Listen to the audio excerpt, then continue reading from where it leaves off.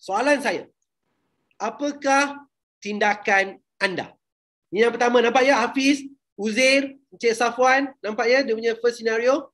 Scenario kedua, kita nampak mangsa pergi dekat tempat awam, dekat mungkin dekat tempat taman dan dia pegang dada begini. Ini dua senario. Saya perlukan kerjasama di sini untuk partisipan jawab betul salah tak kisah. Kita nak belajar.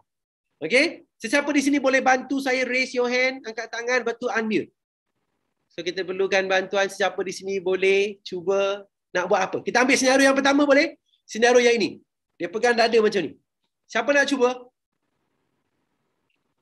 Okay, terima kasih Encik Safwan. Boleh unmute Encik Safwan. Apakah Encik Safwan akan buat? Um, bagi saya, arwah atuk saya pernah macam tu. Jadi uh, arwah nenek saya suruh berikan dia air. Bagi dia air. Air kosong. Ha, Air ya betul. Air kosong. Air lain boleh tak? Ha, tu tak pasti tu. Tak pasti. Bagi bagi dia minum lah. Okay, good. Ha, ya betul. Bagi dia minum. Okay. Satu. Okay.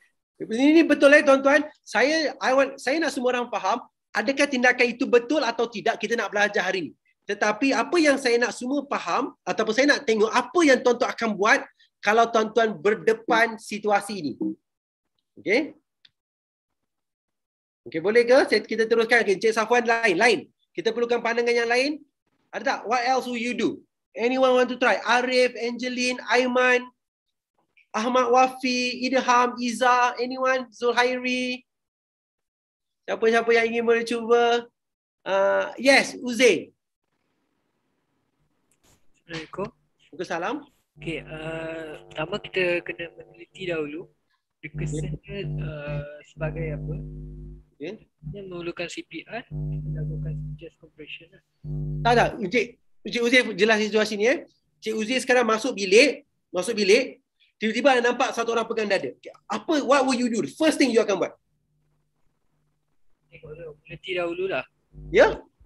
Tur, uh, dudukkan dia, dudukkan Dia orang. duduk. Okay. Dah duduk. Okay, good. Okay, sekarang dah duduk. Okay, second thing. Dah dudukkan dia. Okay. Naikkan apa ni, dagu.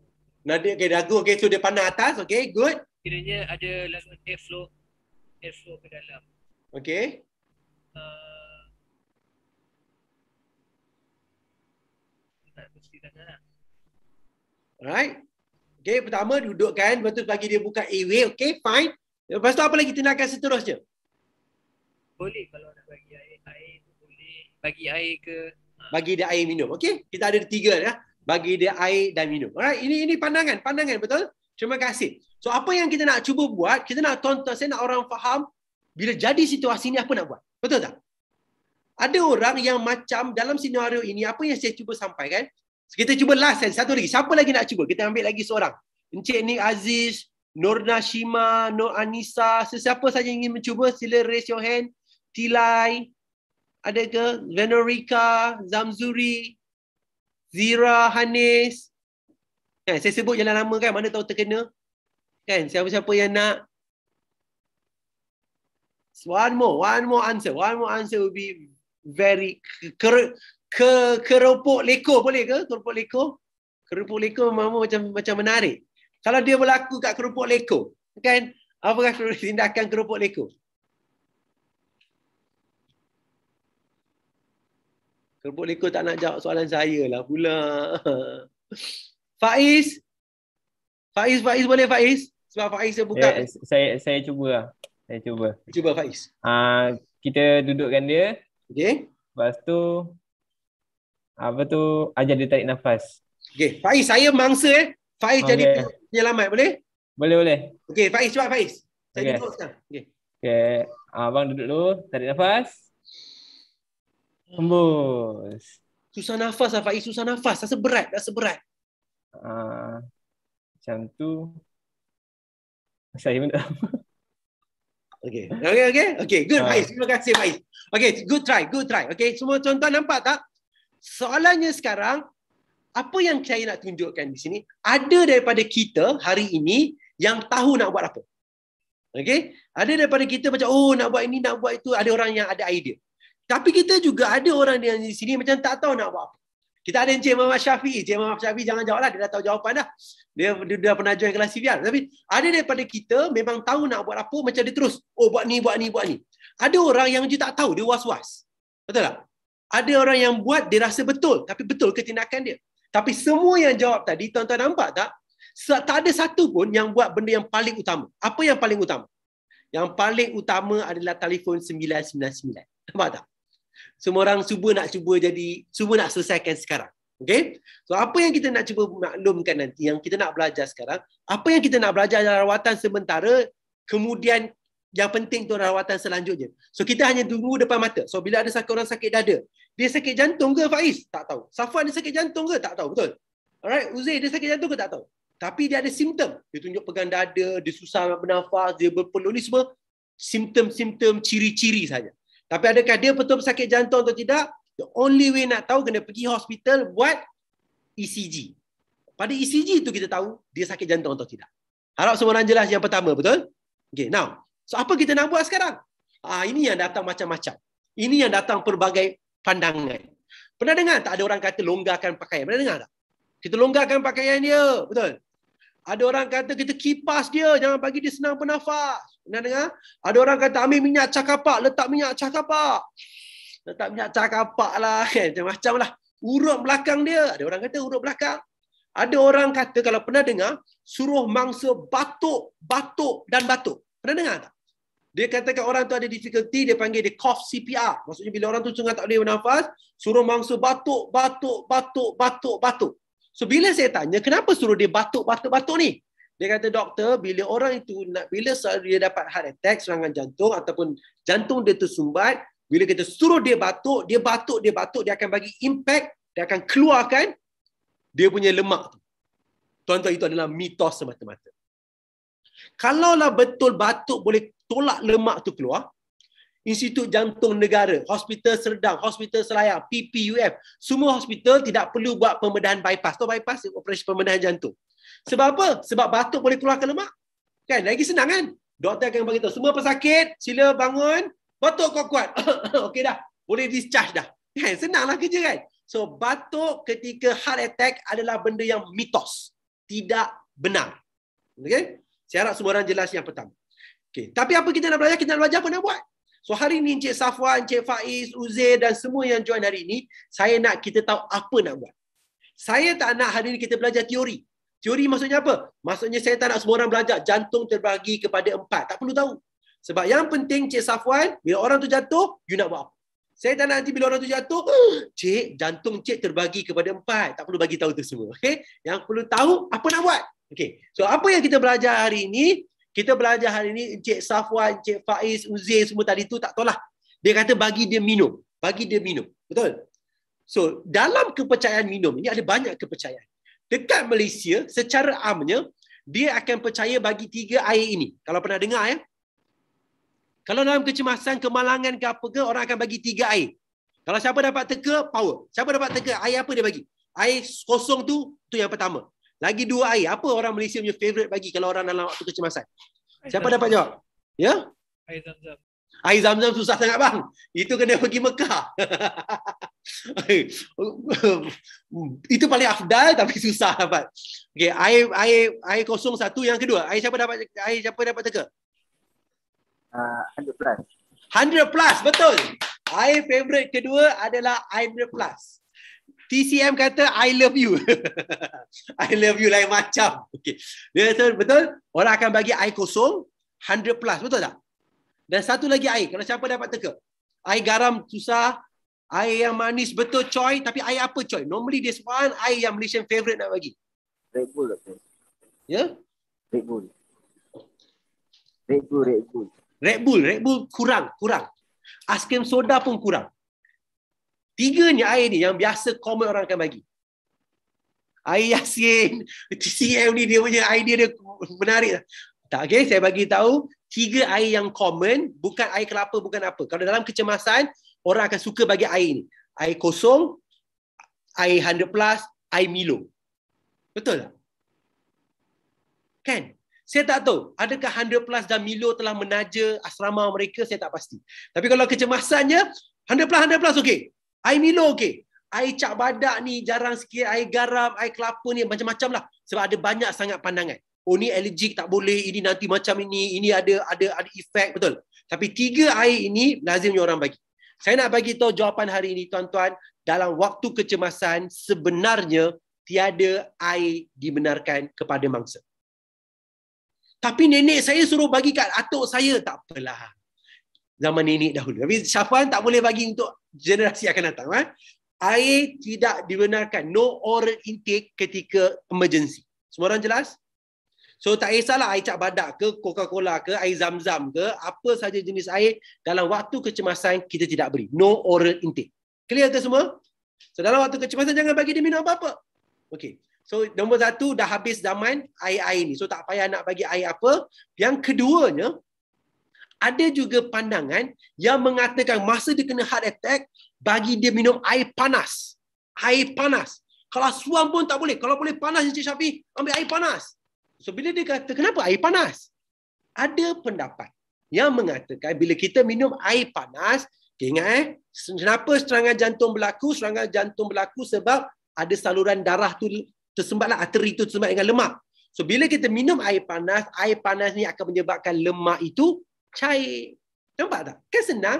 Bila heart attack, minum air panas, lemak tu cair. Tuan-tuan, itu adalah mitos semata-mata. Saya tak tahu kenapa orang Malaysia percaya. Tuan-tuan, kalau betul minum air, boleh lemak, boleh cairkan lemak, hari ini kita semua rakyat Malaysia kurus. Betul? Sebab apa? Minum air panas saya tadi, cairlah lemak. Siapa minum air panas kat tu? Minum air panas saya bagi cair lemak.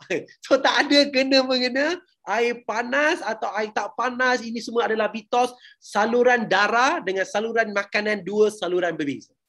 Saya harap ini jelas yang pertama. So kita keluarkan daripada konsep nak minum air apa. Yang pertamanya semua air tak boleh minum. Itu yang pertama kita kena jelas. Okay. So apa nak kita nak patah balik senario tadi boleh? So saat kita masuk ke rumah, kita nampak ada satu orang pegang dada. Ah, Cik Zuhairi, Cik Zuhairi. Betul tak? Dia bukan cik, dia tak tahu Cik Zuhairi tahu CPR ke, tak tahu, dia tak tahu. Dia tahu nak bantuan, betul? So, Cik Zuhairi datang approach dia, betul? Okay. So, soalan dia kena soalan yang penting. Janganlah tanya soalan yang tak munah sabar. Orang Malaysia ni kadang-kadang kita tanya soalan menyakitkan hati. Pernah tak pergi pergi mana-mana, bila orang tu tanya, kita cakap, Cik, diam lebih baik. Pernah tak kita, kita ada senario begitu? Contohnya apa? Contohnya kita makan nasi lemak, kawan datang. Apakah soalan yang paling kita benci? Kalau dia kata sedap tak sedap, boleh jawab lagi kan? Dia selalu tanya apa? Makan apa tu? Makan apa? Kan? Betul tak? Dia nampak kita makan nasi lemak kan? So, tengah makan ke? Tengah makan ke? Betul dia nak? Tengah makan ke? Dia tanya soalan yang dia nampak. So kita tak nak benda tu. So dalam waktu kecemasan, kita nak you betul tanya soalan yang betul-betul yang boleh you macam concern. Betul-betul concern. Alright. So antara soalan yang you perlu tanya, alright, masa dia tengah pegang dada, kita nak tanya situasi dia. Kita nak assess situasi dia. Okey, kita nak tahu apa yang berlaku pada ketika itu. Okey. So kita nombor satu kita kena dengar dan apa yang dia cakap kita kena ambil perhatian. Okey. First one of the question yang saya nak tuan-tuan tanya, saya nak tuan-tuan tanya kepada mangsa encik. Okey, rasa sakit kat mana? Eli kata rasa sakit dekat mana? Yes, that is a good question. Eli betul, soalan itu bagus untuk ditanya. Okey, lagi. Soalan apa yang kita rasa patut tanya? Pada mangsa. Anyone else? Boleh unmute atau boleh type. Ada orang kata tadi, Eli kata, nama mangsa, okay, fair enough Iza, boleh tanya nama Can you hear me? Alright, boleh sebab dia tengah sedar. But it's a good question also, boleh. Veronica tanya, can you hear me? Cik, nama siapa? Sakit dekat mana? Betul? Apa lagi soalan kita nak tanya mangsa? Nak ubat tak? nak ubat tak? Nak ubat apa Cik Zamzuri? Okay, tapi soalan Cik Zamzuri tu, kau dah kenapa? Okay, TCM. Yeah, TCM ni dia brutal sikit lah. Kau nak kau kenapa? Okay, lah. Boleh saya tolong? Okay, Safan tanya soalan betul. Okay. Soalan yang dikeluarkan oleh Cik Zamzuri itu betul tetapi dia kena lebih spesifik. Okay. Tanisha tanya soalan betul. Cik ada sakit jantung ke sebelum ini? Alright, itu pun betul. Rasa macam mana tuan? Okay, betul. Okay, good. Tapi saya nak tuan-tuan, saya nak tertarik kepada soalan yang ditanyakan oleh Cik Zamzuri. Okay. Tuan-tuan, kita nak tahu satu perkara, sekiranya mangsa ini seorang pesakit jantung, dia ada satu ubat dia panggil GTN. Ha, ini kita nak tahu. So betul soalan yang soalan yang tadi tadi betul okey. Saya, saya nak ulangkan balik. Bila orang tu sakit dada tanya encik betul nama siapa, macam mana encik rasa, sakit dekat mana encik? Encik sebelum ni ada sakit jantung atau tidak? Ini soalan-soalan yang betul. Okay, one of the question yang kita nak tanya, Encik ada ambil sebarang ubatan atau tidak? Itu satu soalan yang kita nak tanya. Kalau dia kata ya, Encik ada ambil sebarang ubatan? Okay. Kalau dia ada, dia akan cakap ada. Kalau dia cakap tak ada, dia tak ada lah kan? Betul kan? Kalau dia kata ada, tapi saya kencing manis tak ada kena mengena. Ada darah tinggi tak ada kena. Tapi kalau ada seorang pesakit jantung, dia ada satu ubat nama dia GTN. Semua orang tulis kat, kat dalam buku masing-masing GTN. Saya pendekkan ubat tu. Ubat itu perlu diletak bawah lidah. Berta kul, kula, kaula, ubat GTN itu siapa yang ada? Yang ada hanyalah orang yang pesakit jantung. Jelas tak? Maksudnya apa? Maksudnya dia dah pergi medical check up, dia dah pergi memang doktor memang dah tahu dia ni seorang pesakit jantung, doktor akan ada satu ubat dia panggil ubat GTN. So orang yang sakit jantung, ubat GTN ni dia letak dalam poket. Dia akan bawa pergi mana-mana. Okay. So selalunya kalau orang yang sakit jantung tu sakit jantung, kita tak payah tanya, cik ada ubat tak? Lazimnya dia akan terus ambil sendiri. Betul? Jaranglah orang macam ni. Cik, ada ubat tak? Alamak Safwan, nasib baik kamu ingatkan. Saya lupa ada ubat. Tak ada kan? Betul tak? Dia akan tahu reaction. A spontaneous reaction. Dia akan ambil ubat tu. Okay. Ingat tuan-tuan. Ubat itu bukan tak boleh telan. Boleh telan. Tetapi dia lebih efektif put it under your tongue. So ambil, put it under the tongue. You ambil satu, you rasa lega. You pergi ke hospital immediately. Maximum dosage you ambil dua. Kalau tak tahan lagi sekali, lepas tu you ambil lagi satu. Lepas setengah jam. Tapi tapi kena pergi hospital untuk buat rawatan lanjutan. Tapi itu orang yang tahu dia sakit jantung, betul tak? Ada orang yang tak tahu. So dia mungkin kali pertama. So kadang-kadang kita suka menyebut tanya sejarah keluarga. Betul? Katakan dia ada suami isteri kat sebelah. Ni ni suami cik ada sakit jantung ke? Ah, bapa ada sakit jantung ke? Mak ada sakit jantung? Kita mana tahu. Kemungkinan isteri dia kata tak ada. Sebab apa? Sebab itu mungkin kali pertama dia kena heart attack. Logik? Memang tak ada medical history. So kita tak nak kisah itu semua pada ketika itu. History mangsa penting untuk doktor di hospital tapi bukan untuk kita di tepi jalan raya. Kita tak perlu tanya bila last attack, bila last kali medical check up, tak perlu tanya itu semua. Itu is not important. Soalan itu pun tidak relevan. Kalau kita tanya pun, kalau dia jawab pun, apa Safan boleh buat? Tak boleh buat apa-apa pun dengan jawapan yang diberikan itu. Okay? So jawapan soalan itu kena betul lah. Kita jangan jangan bagi dia pressure, jangan bagi dia. Okay. So now, Lepas kita tanya ada ubat atau tidak, kalau tak ada, tak ada masalah. Kalau ada, kita letak bawah lidah. The next thing we need to do, kita kena pastikan mangsa duduk. Boleh semua? Kita suruh mangsa duduk. Kebanyakan kita dapat, tuan-tuan di kolej kediaman di universiti masing-masing, ada bilik rehat kan? Ada bilik, bilik sakit kan? Ada sick bay, bilik rehat, bilik apa-apa yang dipanggil lah, bilik rawatan. Kebanyakan kita dapati, penyelamat ataupun pengetua ataupun warden suruh baring. Okay? Tapi sebenarnya dia kena duduk. Betul Eli? Duduk lebih mudah untuk mangsa bernafas berbanding dengan baring. Tapi kita dapati bahawasanya kalau jadi kat asrama ke apa ke, semua suruh baring. Baring-baring dulu, baring dulu, rehat dulu, rehat dulu.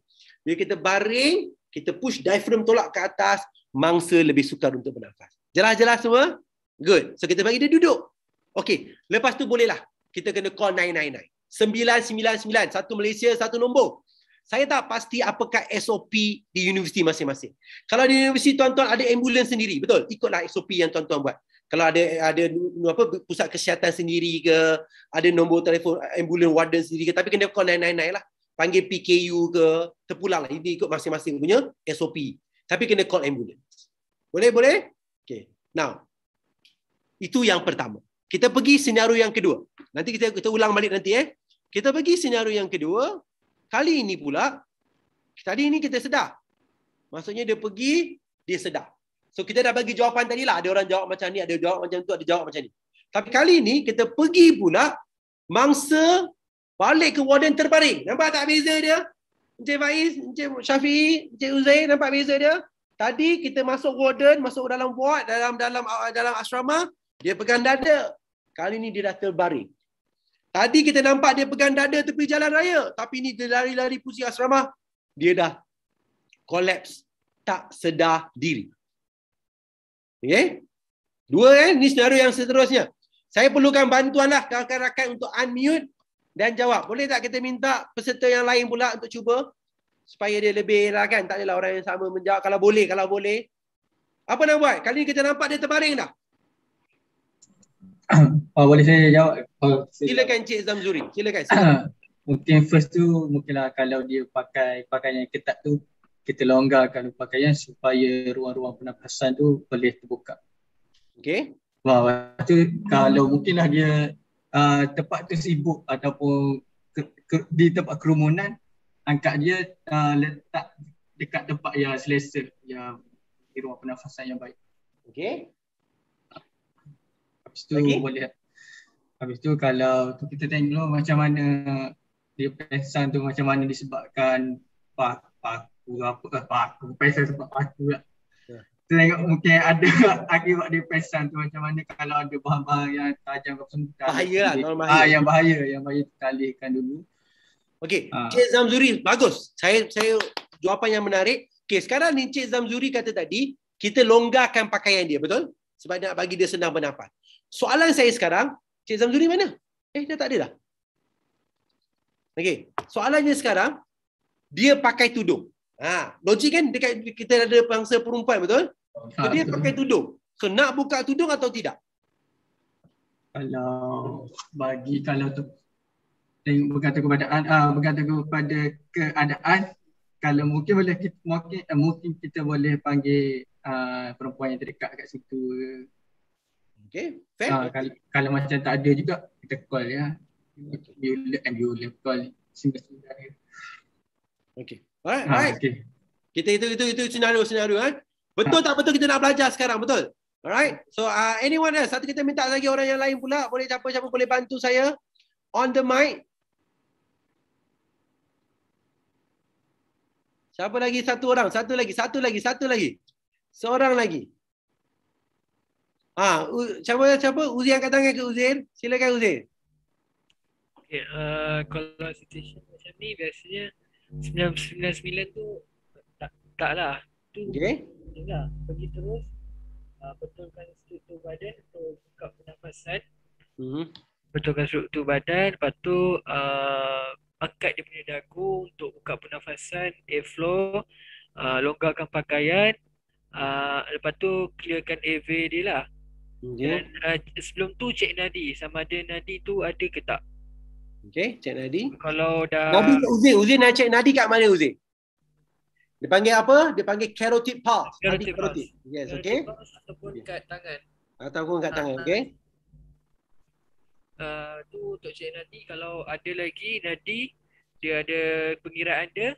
Lepas tu uh, kalau lepas tu call 99 untuk Hmm. dapatkan bantuan ataupun kalau ada orang terdekat minta dia orang callkan.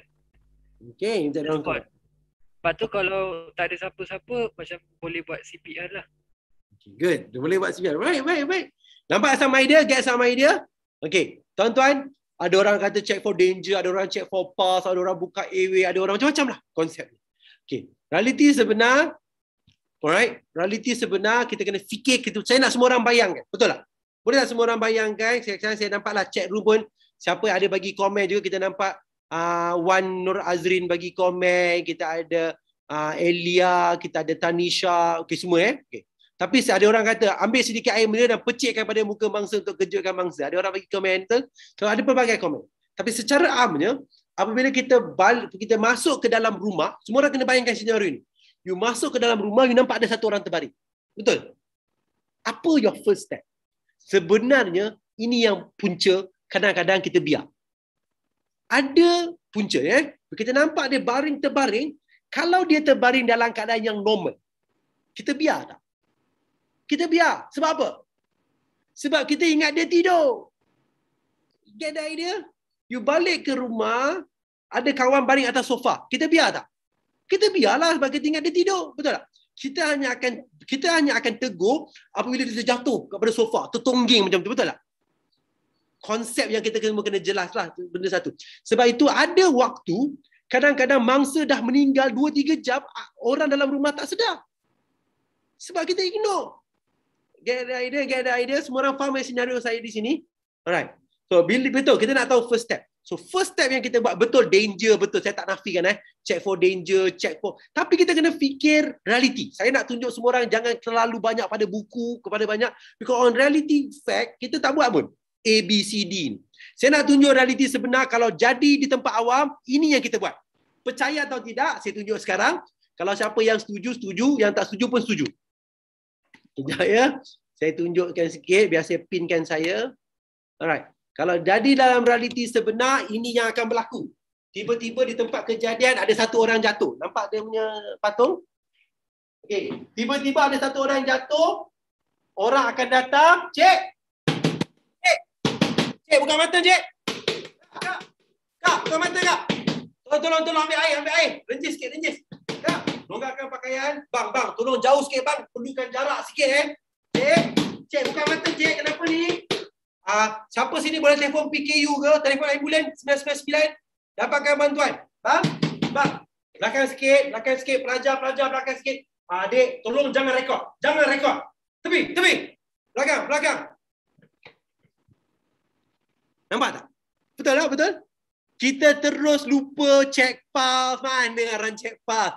Lupa apa nama ni check breathing, pernafasan nafas ke tidak, betul? Dah panik, betul? Berpeluh, takut kan. Lagi-lagi, lagi-lagi kalau kat tempat kejadian kita yang paling besar. Daripada segi jawatan lah. Atau dekat tempat tu kita in charge. Contohlah, tempat itu Encik Zuhairi in charge. Encik Zuhairi apa nak buat? Kita menjadi panik. Buat je lah, buat je lah. Panggil, panggil, panggil. Kita dah, dah daripada takut salah, kita dah keluarkan arahan. Okay, now. Tuan-tuan, ini yang penting. Ramai orang bagi tahu kat saya, Dr. Azizul, dalam keadaan sebenar saya panik, saya takut, saya nervous, saya gemuruh. Tuan-tuan, saya nak bagi tahu semua di sini. Dalam waktu kecemasan, kalau you panik, itu normal. Normal lah kalau ada tiba orang yang panik. Lagi lagi di bawah penguasaan kita. Dalam waktu kecemasan, kita takut. Normal. Betul? Dalam waktu kecemasan, kita jadi kelang kabut. Normal. Itu semua normal. Betul? Dia tak normal, tiba-tiba ada satu orang jatuh, kita macam kenapa jatuh? Oh, tak ada masalah kita boleh handle. Itu lagi tak normal betul. Terlalu tenang tidak normal. Tapi kita panik, kita takut, kita gemuruh, itu okey. Itu tak ada masalah. Tetapi yang jadi masalah adalah apabila kita tak ada ilmu. Bila tak ada ilmu ni, betul? Kita akan buat benda yang kita rasa betul. So dalam konteks pertolongan cemas, matlamat tidak menghalalkan cara. So kita kena ada ilmu supaya ilmu ini akan bimbing kita. Ilmu ni akan pastikan kita ikut step by step. Ilmu ni yang penting. So kita nak buat ilmu yang betul. So dekat Malaysia kita tak nak ilmu yang salah. Pernah dengar tak bila ada orang itu sakit jantung ataupun orang tu dapat stroke, ambil jarum cocok dekat jari. Pernah tengok tak?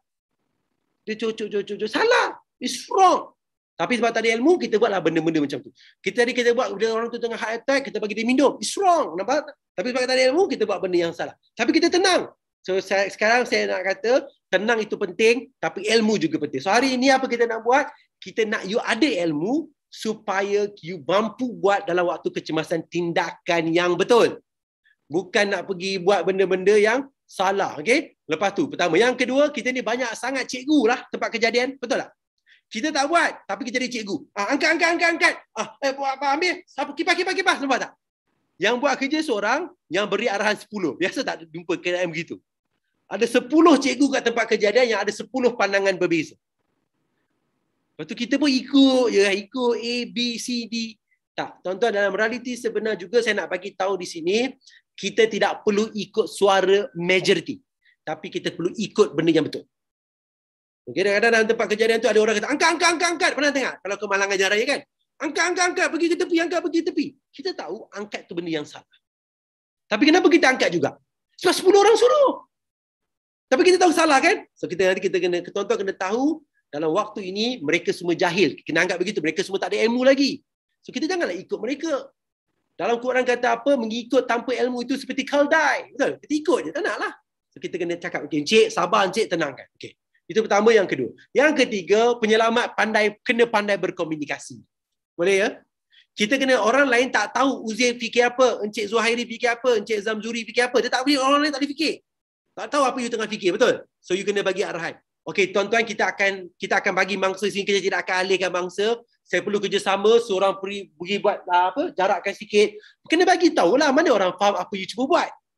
So kadang-kadang kita kena tengok antara penyelamat, antara warden, antara pelajar ni tak ada komunikasi. Dia tak tahu. So kita kena bagi tahu arah jelas apa tindakan kita. Kita bagi tahu semua orang. Okay, tak apa. Kita tengah tunggu ambulans sekarang ya. Kita perlukan satu orang tolong tunggu kat sini. Orang oh dia tengah tunggu ambulans. Orang tahulah.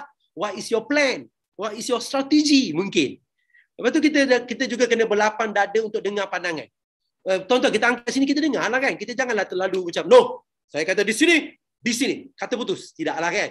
Kadang ada orang nak bantu dan tempat kejadian itu kita kena buat. Sebab semua objektivis itu bagus nak selamatkan mangsa. Tapi bila nak selamatkan mangsa, tapi bila matlamat tidak menghalalkan cara nak buat merapu tu tidak boleh. Kita pernah tengok banyak dalam YouTube orang ambil budak tu didokong, ditongging-tonggingkan masa lemas salah, ditampar-tampar salah ini semua salah. Okay. Saya tunjuk tadi kan betul? Bila jadinya perkara tersebut, bila satu orang jatuh, saya tepuk bangsa, saya tampar, saya baling air, saya buka longgarkan pakaian, saya call ambulans. Itu bukan salah. Betul. Tetapi kurang tepat. Sebab apa dia kurang tepat? Sebab dalam badan manusia kita ada lima vital organ. Okay? Saya dah rasa bangga sikit sebab kita ada dah dua, empat, enam orang buka kamera. Tiba-tiba harap-harap lebih ramai buka kamera nanti lain. so dalam yang datang ni saya nampak ada 65 orang. So appreciate if everyone yang baru join kita untuk on your camera. Terima kasih Tanisha. Alright, now back to the topic. Dalam apa yang saya buat tadi itu betul tetapi kurang tepat sebab dalam badan manusia ada lima vital organ. Semua orang tulis lima vital organ ini. Otak, jantung, paru-paru, buah pinggang, hati. Saya ulang semua. Dalam badan manusia kita ada lima vital organ, five organ utama. Otak, jantung, paru-paru, buah pinggang hati. Saya bukan nak mengatakan bahawa Encik Ahmad Rizal punya otak eh, sorry, punya buah pinggang uh, sorry, sorry. Saya bukan nak mengatakan Encik Ahmad Rizal punya mata tidak penting. Walaupun dia tidak disebut dalam lima vital organ. Mata penting tak? Penting. Tapi dalam senario ini, sekiranya mata Encik Ahmad Rizal tidak berfungsi, boleh tak hidup? Boleh. Buta je lah. Saya bukan mengatakan Angeline Bu Zin Ying punya tulang belakang tak penting. Penting Angeline. Tapi katakan tulang belakang you patah, tak boleh berfunction, can you still survive? Angeline, can. It's just that you become paralyzed. Are we clear? Right? Tapi lima vital organ ini wajib berfungsi. Otak, jantung, paru-paru, buah pinggang, hati. Kita ambil contoh buah pinggang. If your kidney does not function, pernah dengar tak? Kena pergi dialisis seminggu tiga kali. Katakan you kat jenis yang ah, ponteng dialisis lah, meninggal. You cannot survive. Your body cannot take it. Buang pinggang katakan dia kata dia ego kan. Dua lah, saya dua minggu tak payah pergi. Mana boleh? Your kidney doesn't function, you tak pergi. You mati. Ada orang kata hati, betul. Tuan-tuan tolong, your hati ni to function. Tolong jangan pengaruh dengan lagu. Hati hitam boleh tutup dengan jubah. Mana boleh? Hati hitam mati. Alright? So hati kena function. Alright? paru-paru buah pinggang saya paru-paru jantung otak obviously kena function okay now kita ambil benda yang paling common iaitu otak okay otak untuk hidup perlukan darah perlukan oksigen so how does your brain dapat darah jantung pump send oxygen blood to your brain simple straightforward jantung pump send blood to your brain your brain survive macam mana otak hidup otak perlukan oksigen macam mana otak dapat oksigen paru-paru pump hantar oksigen pergi ke otak clear So otak kita hidup sebab dapat darah, dapat oksigen. Macam mana dapat? Jantung pam, paru-paru pam. Are we clear so far? Clear. Good. Satu hari, kita ambil satu senario, tiba-tiba secara, secara tidak sengaja, seorang rakan kita di salah satu universiti dapat kejutan elektrik. Trrrr, dia kena electrocuted. Bila dia kena electrocuted, jantung dia burst, jantung dia stop, paru-paru dia stop. Nampak? Bila jantung dia stop, paru-paru dia stop, dia tak supply darah pergi ke otak. Otak akan mati. So far clear dia punya konsep? Kita buat kedua, dia lemas. Dia bani mamu ni lemas. Bila dia lemas, jantung dia stop, apa-apa dia stop, dia tak supply darah pergi ke otak, otak akan mati. Dia tercekik, dia kena kejutan elektrik, dia dapat heart attack. Ini semua akan menyebabkan kematian pada otak. Kita kena faham otak kita ni hidup sebab dapat bekalan darah dan oksigen. Dapat bekalan darah, dapat bekalan oksigen. Clear kan? Dapat darah, dapat oksigen. Dapat darah, dapat oksigen. Dia survive. Tiba-tiba supply itu tidak sampai otak ini hanya boleh hidup 4 minit, selepas 4 minit dia mati. Macam mana maksud tu? Maksudnya begini. Kita ambilkan telefon ni telefon lama lah eh. Kalau handphone baru tak ada masalah. Ni katakan ni handphone lama. Handphone lama yang rosak, yang hanya boleh hidup sebab kabel. Pernah tak jumpa? Alright, alright, I'm sorry. So, uh, sir, please in English, you have international student is to understand. I'm very sorry, guys. I, I thought that the participant will be all in Malaysia that fully understand Malay language. All right. So I'm going to mix the language between Malay and also English so that some of you internationally can understand. Uh, hopefully, everyone can understand it better. All right. So the idea is very simple. I'm just talking about old phone, right? The phone that only can be turned on using the cable.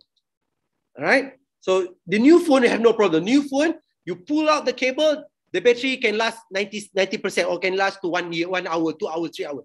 I'm talking about old phone. You know the old phone that only can can only be used if the cable is on. Clear ke? Jelas ke konsep? Alright, now just imagine this cable, this phone is on due to the cable is connected. When the cable is connected to the phone, the phone can be used 24 hours. Tapi at the moment we pull the cable off, the phone can only be used for four minutes. After four minutes, if you do not connect back to the cable, the phone will be turned on, turned off immediately. Do you, uh, you get what I try to say? Right? So katakan the cable, the phone now connected to the cable. How long your phone can be used? How long can you use the phone? You can use the phone unlimited because the supply, the power supply is on. But when you take off the cable, the phone can only use, you can only use the phone for four minutes. After four minutes, if you do not connect back to the cable, the phone will shut down. Agree? Get the idea how it works? So this is on the phone. So same thing as our human brain. Your, your brain can survive, is surviving because it keep on getting oxygen and also blood to your brain. So your heart pumps, your lung pump. So your brain keep on getting oxygen and also blood to the brain continuously. Clear? So now, suddenly your heart stop, your lung stop. Your brain can only survive for four minutes. If after four minutes, your brain does not receive any oxygen or blood, after four minutes, it called brain death. Clear? Okay, now, I'm giving you the same scenario. Someone collapse. All right? Someone collapse. There you go. Hello, hello, you okay? Hello, hello, you okay? Please call 999 and get me AED. Hello, are you okay? Come on, please. Open your eyes. Open your eyes. Right? My question now. Do you think ambulance can arrive in on the scene within 4 minutes? Logik tak ambulance sampai dalam tempat kerja dalam masa 4 minit? No, it's not going to be logical. Tak logik, betul? So if ambulance cannot arrive within 4 minutes, what happened to the brain? Brain death. Brain death. Get the idea? Get the idea? So, apa yang kita buat? What you try to do now? So, yang kita nak belajar hari ni, if someone collapse in front of you, someone collapse in front of you, the first thing you do, check for response. Hello, hello, you okay? Hello, hello, you okay? No response, betul? Check for breathing. Later, we will show you how you to check for, for a person breathing. Number two, number three, check for pulse. Uh, we will show you how to check your, for your pulse later. So you check, there's no response, there's no breathing, there's no pulse. Call for help, call 999 and get AED, automated external defibrillator. Nanti kita akan bincang. Go straight to the person and start chest compression. How many times you compress? 30 compression. After 30 compression, stop, open the airway, pinch the nose, blow. Continue back 30 chest compression. After 30 chest compression, open the airway, blow. 30 compression, blow. So my question now, all right? All right? You go the details later. Nanti kita pergi detail dekat mana tekan, berapa tekan, berapa dalam tekan later.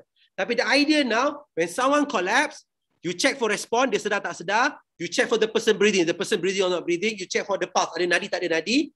Then you start chest compression. And now, my question now. Soalan saya sekarang. Why do we start chest compression? Anyone understand? Kenapa kita? Anyone can share. Why why I start chest compression? Kenapa saya mulakan tekanan dada? Uh, because uh, nak membuatkan jantung tu mengepam uh, oksigen supply untuk uh, otak. Yes, terima kasih Encik Arif. Okay, nampak ada yang idea saya to pump the heart, to pump the heart. Alright, okay now. Everyone need to understand kita punya basics, basic. Kenapa saya pentingkan introduction ini? Sebab after this, if I show you the step, but you don't understand what is CPR, tak guna belajar CPR. Okay, now, do you understand? Eh?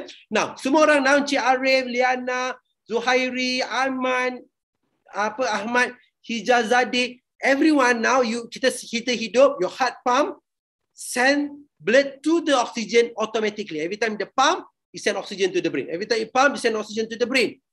Right. Tapi bila dia stop, when your heart stop, so how does your brain nak dapat darah?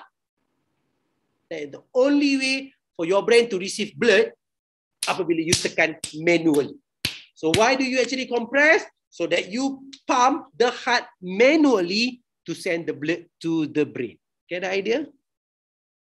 Yes. Okay, bila orang tanya lepas ini saya tak nak, you pergi student tanya, kenapa you tekan? Tak tahu dia ajar tekan je lah. Tak, tak. Right? Kenapa you tekan? So that you can send or you can pump the blood to the brain. So you are pumping the blood to the brain so your brain receive blood. How many times you compress? 30 times. After you compress 30 times, what you do? You stop, you pinch the nose, you blow. Kenapa kita blow? Why you give two rescue breath? to send the oxygen to the brain. You compress to send the blood to the brain, you, you give ventilation to rescue breath to send oxygen to the brain. Clear? Clear. So, but now, what's the biggest challenge? The biggest challenge is not everyone want to go mouth to mouth breathing. Tanisha, do you want to go mouth to mouth breathing? Tanisha will say no, depends.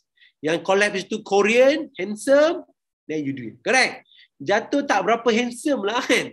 tak apalah bagi dia mati dululah dia pun dah tua kan tak tak kan I'm, I'm not sure betul jatuh kalau jatuh yang yes. buka Korea ramai nak kan so the idea now is not everyone want to go mouth to mouth tu yang soalan yang pertama the second thing is now due to COVID-19 guys COVID-19 is a big a real issue it's a real pandemic not everyone want to go mouth to mouth Okay, so apa cabaran kita? Cabaran kita nak bagi mouth to mouth. So I will show to you later during pandemic pandemic during COVID-19 current current scenario that we actually can perform CPR. They call it hands only CPR without giving mouth to mouth resuscitation. Ada sebenarnya, tapi we will go later.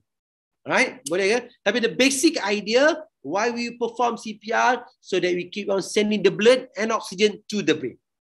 Because when the brain does not receive oxygen and also blood, dia akan mati. I hope that it clears in that direction. So how many how long can you can your brain can survive without receiving oxygen and also blood? It's only four minutes. So now I'm going on the next slide. So you only have four minutes. So we do not want bila dah jadi baru nak baca buku. Bila dah jadi baru nak baca buku tidak. Okay, this uh, case a 14 months uh, boy, alright, dia collapse jatuh dalam baldi lah dalam besin Lepas tu lemas dan tidak sedari. Alright. Uh, statistic by World Health Organization have also stated that the cause of death in Malaysia, alright, in Malaysia is called coronary heart disease is before COVID-19. Uh, current state uh, statistic, I'm not sure, but I think COVID-19 have actually beat the numbers of the cause of death in Malaysia. Lah. Tapi currently the cause of death in Malaysia is 50 cases a day. 50 kejadian sehari di Malaysia 2018 chronic heart disease and it become the cause of death yang pertama di Malaysia. So now, understand this slide then I think you can understand the whole scenario. Apa what, how you want to understand this slide? First we call clinical death. The heart stop, your lung stop, but otak masih lagi hidup ini kita panggil clinical death.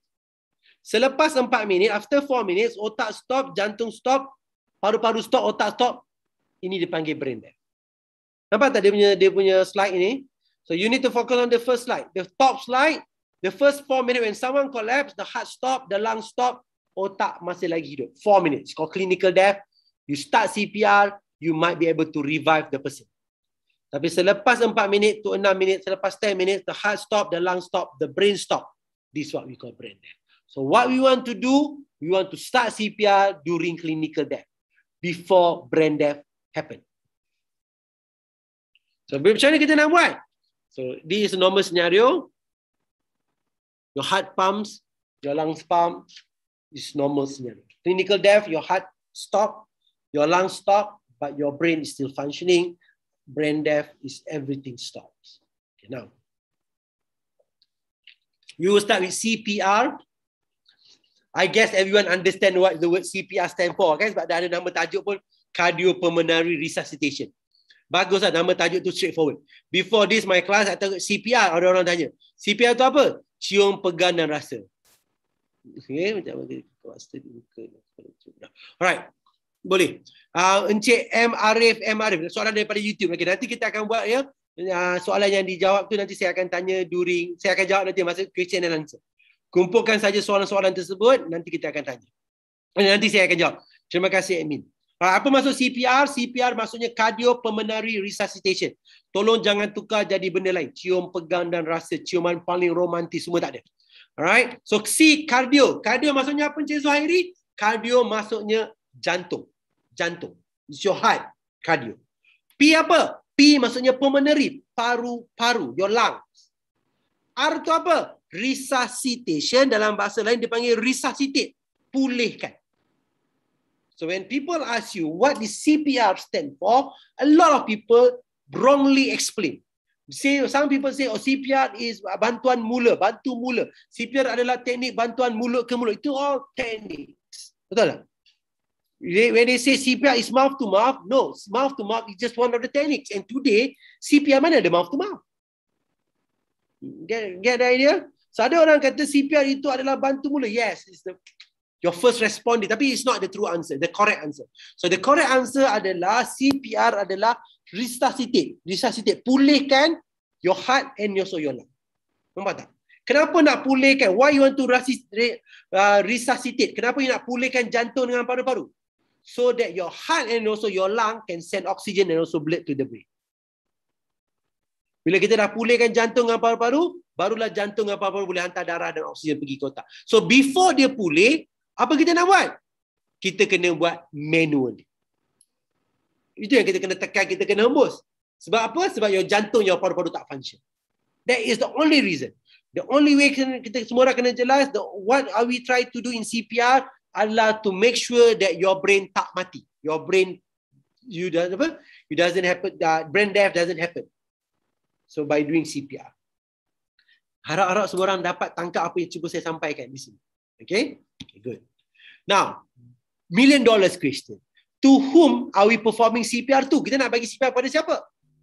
So a lot of people confused. I'm not sure lah I want to perform CPR kepada siapa. Kan? So saya nak bagi semua orang tulis, semua orang tulis ya. Kita bagi CPR kepada tiga jenis orang. Number one, tidak sedar.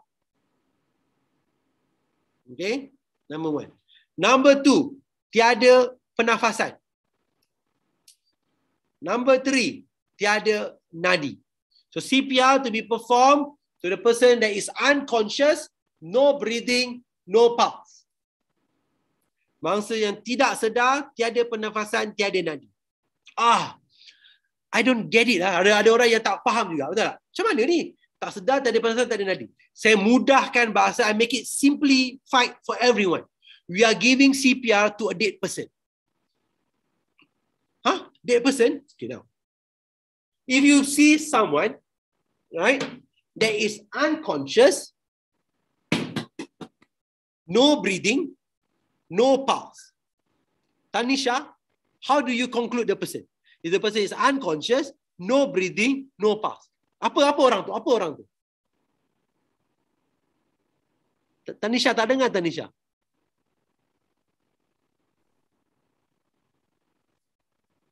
I think your microphone ada masalah sikit tak ada. So apa dia orang tu? Orang tu mati lah. It's a dead person, betul tak? Right? It's a person is unconscious, no breathing, no pulse, dia mati je. Okay, tapi dalam from this scenario, because the first four minutes, we call it clinical death. After four minutes, it's called brain death lah. Right. Tapi if you see the person, hello, hello, you okay? Hello, hello, you okay? No response, maksudnya unconscious, tak sedar. But the person have pulse the person have breathing. Betul? Kita buat CPR tak? Jawapan dia tidak. Why? Because mangsa tu pingsan je. Dia tak mati. It's not a dead person. Are we clear? Okay. So a lot of question datang kat saya. Tapi kenapa dia mati? Why the person dead? So, so not everyone die for the same reason. Betul? Ada orang mati sebab heart attack, ada orang mati electrocuted. The reason why the heart stop, the reason why the person stop breathing is different from one individual to another individual. But it is irrelevant. The most important thing for us to know as a rescuer is the person breathing, is the person is not breathing. Is the person have pulse or the person have no pulse? Clear? So the reason might be different from one to another. So some of the reason, one, um, so antara the common cause of brain, uh, the common cause of sudden death, the person might be drug overdose. Kan lepas vaccination, how many Panadol you supposed to take? PCM, you supposed to take two. Tapi ada orang ambil 10, 30, 40. Boleh drug overdose. Drowning, okay, stroke, accidentally apa uh, accidental electrical shock, VF, vertical fibrillation, suffocation ada banyak sebab-sebab lain. Tapi apa yang penting as long as the person is unconscious, no breathing, no pulse, kita nak buat CPR. Okay. Let me just ask the participant here supaya semua orang nampak dan jelas. Okay, now. Abaikan eh. Okay, now kita bagi contoh. If the person ada asma. Okay, bukan nama dia asma lah. Dia asmatik, dia lelah, lelah. Tiba-tiba dia pergi, dia sakit asma.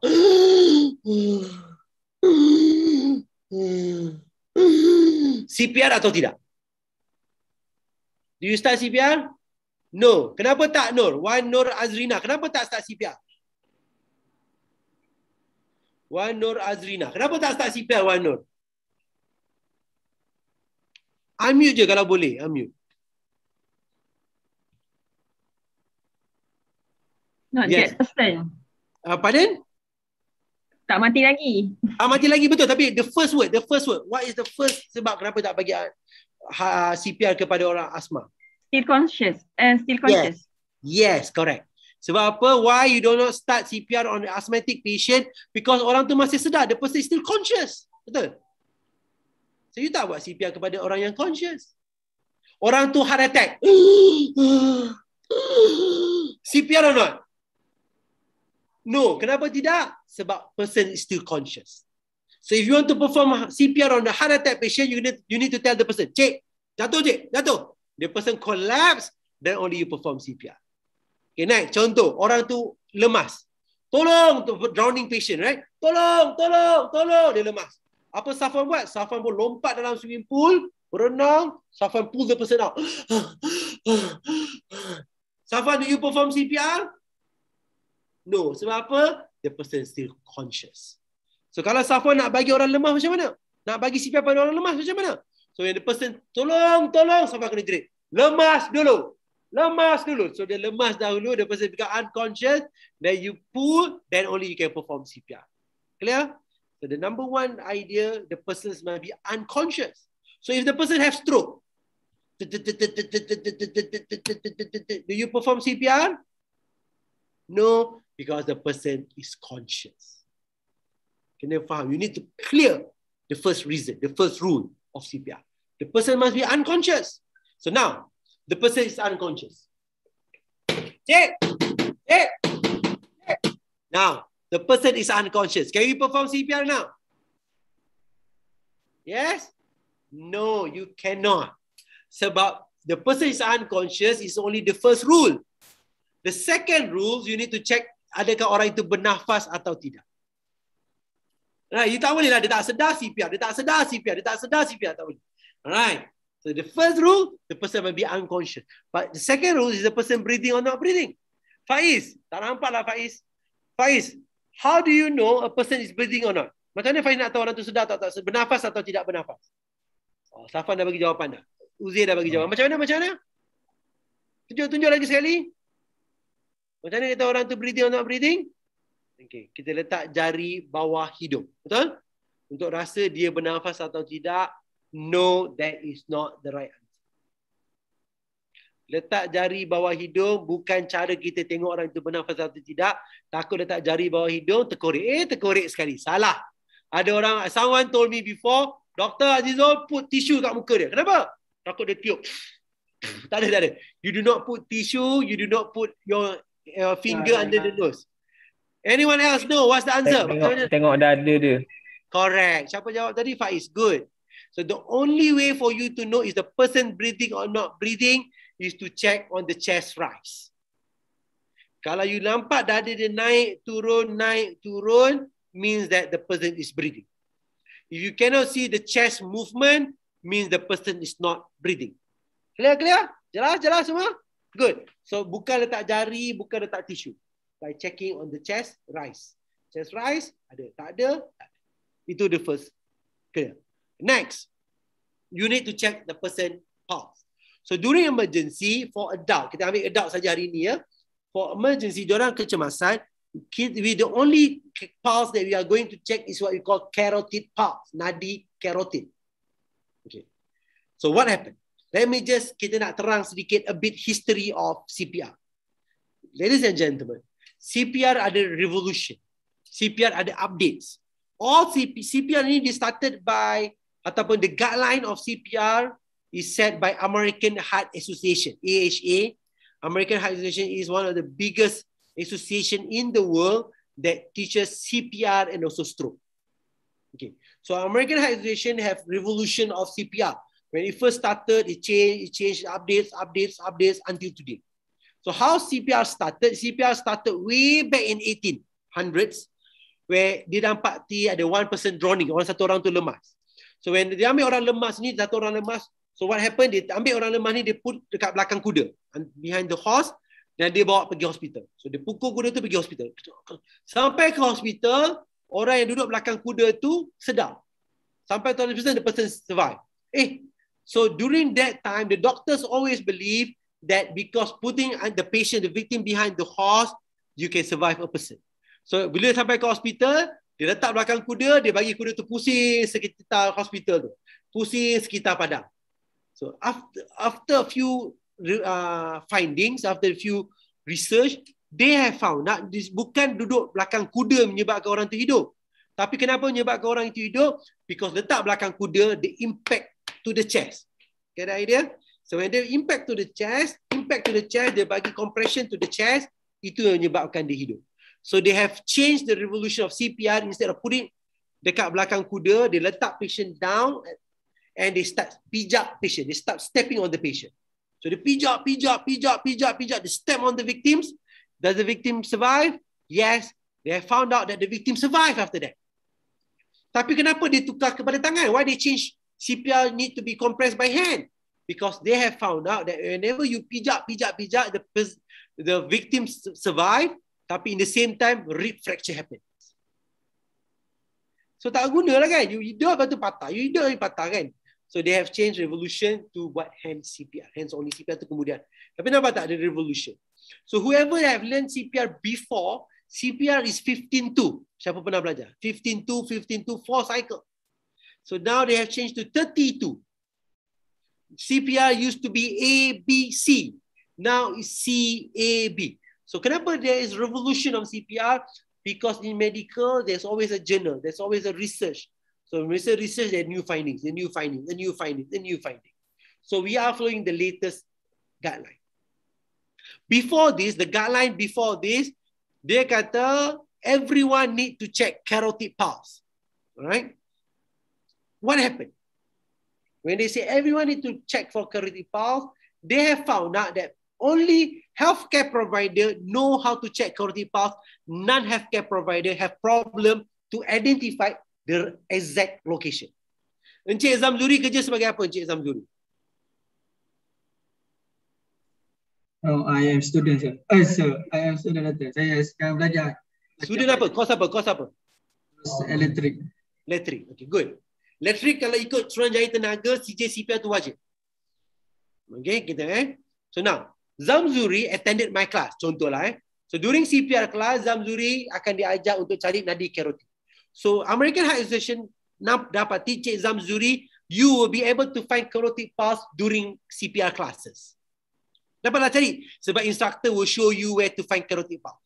Tapi American Heart Association dapati during the real scenario, Encik Zamzuri akan dapat akan dapat difficulty to find. Contohlah sekarang belajar dalam kelas dapat cari tak? Dapat. Tiba-tiba realiti sebenar, orang jatuh. Hello, hello, you okay? Hello, hello, you okay? Cik, tak jumpa cik. Tak jumpa. Kenapa tak jumpa? Sebab Zamzuri pergi cari dekat sini. Get the idea? So now, 2020 guideline. Latest update by American Heart Association says what? American Heart Association says only healthcare provider check for carotid pulse. Non-healthcare provider do not need to check for carotid pulse. So who, siapa di sini? Healthcare provider. Can please raise your hand? Any doctors in the house? Jo- Join us today. Ada siapa doktor di sini hari ini? Tak ada. Ada siapa sini nurse? Tak ada. Ada siapa sini uh, TS Syafi? Yes. Siapa sini uh, paramedic? Uh, the nurse, paramedic, MA, medical assistant, alright, dentist, tidak boleh ataupun ini jatuhkan sebagai healthcare provider. Okey, saya ulang eh. Doktor, nurses, MA, paramedic, dentist, ini semua healthcare provider. Boleh, boleh? So, all these healthcare provider, according to American Heart Association, because of their job punya punya profession, because of their profession, because their job scope, they have been finding carotid pulse every day. So, during emergency, they will not have problem to find carotid pulse. Orang awam yang lain, you do not need to buat cari carotid pulse. Why they eliminate? Why before this, Zamzuri pergi kelas, you cari, sekarang tak perlu. Because they have identified, they have done studies. During emergency, Encik Zamzuri pergi cari carotid pulse. Okay, now example. Encik Zamzuri try to find my carotid pulse.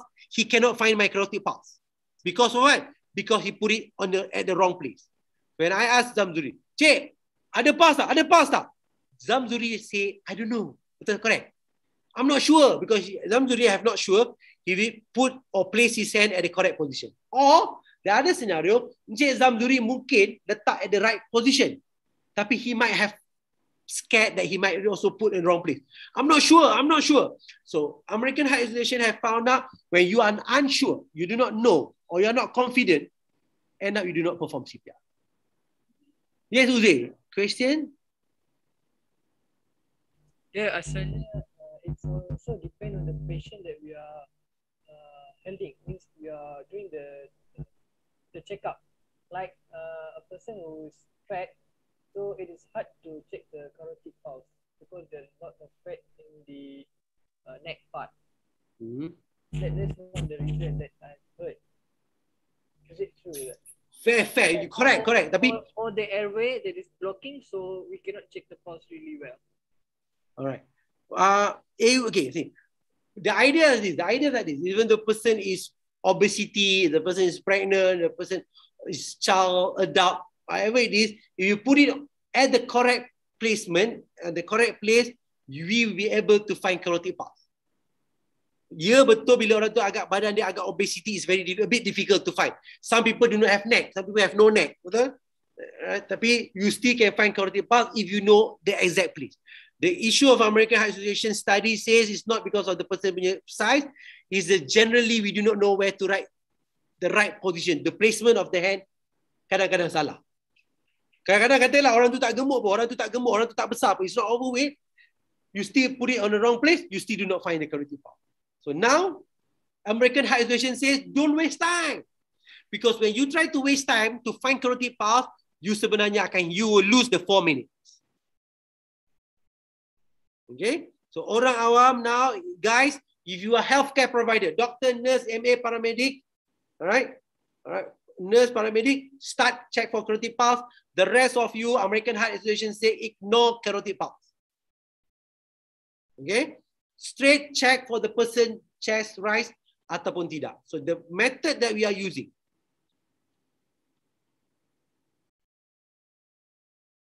Used to be okay. The first we need to get the first four minutes. So this is the method, this is the guideline kita nak ikut. Old method ataupun the previous guideline, they call it sebagai Dr. ABC. D-R-A-B-C. The latest guideline, we call it DRCAB. So kita lebihkan lajukan dia sekarang, the latest, super latest guideline, right? the, the latest 2021 updates. They call it DRSSCABD. Danger response scan shock compression airway breathing defibrillator. Kindly, all right, if you can write this down, write this down.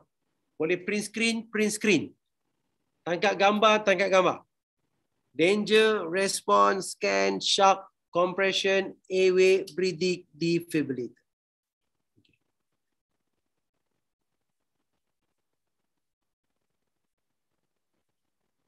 Boleh, boleh? Tulis dulu. Everyone be able to write.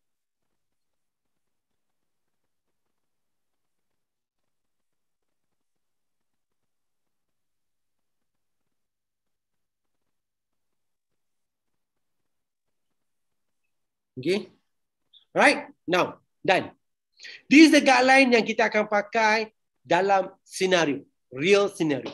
Which I'm not going to elaborate today. So what I'm going to do more today is about COVID-19. Boleh ke? Because we have already 45 minutes about it.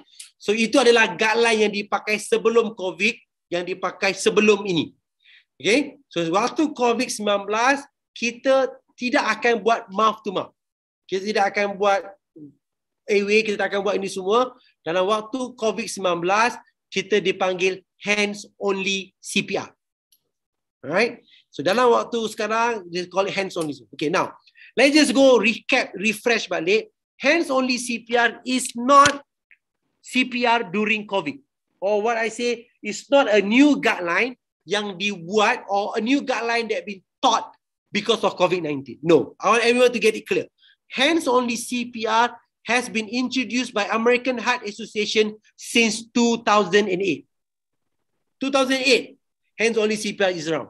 But it was not popular. Everyone, because of this, they, they were saying, obviously, full set of CPR, DRSSCABD is still the best CPR. Tapi hands only CPR is actually as effective as the real CPR. It's just as effective, but it was not popular. So when it was not popular, people would just go on a normal CPR. So now hands only CPR is something that have been around for many, many years. But now during COVID-19, World Health Organization have make a very stand, clear stand that everyone have to follow hands only CPR for BLS or for CPR out of hospital cardiac arrest. If you see, you witness anyone collapse out of hospital, this is the guideline that we are going to use today. Okay, now. So the standard is DRSS CABD, all right? So we are going to do hands-only CPR. I'm just going to go straight for a while. Let me just go. So we are going to do DRSSB. Ah, so Anja, let me just go fast on myself. My name is Dr. Azizul Amar Rahmat. You can call me Dr. Azizul Amar. I am the president and also the chairman for academic uh, for CPR Malaysia. Currently kita dah rename kepada academic Dr. Azizul Amar. It's the same thing, just that kita dah rebrand kepada Academy Dr. Azizul Amar. So we actually, our target and our mission is to train 100,000 CPR train every year to train 100,000 Malaysian, 1,000, 100,000 uh, person with CPR skill.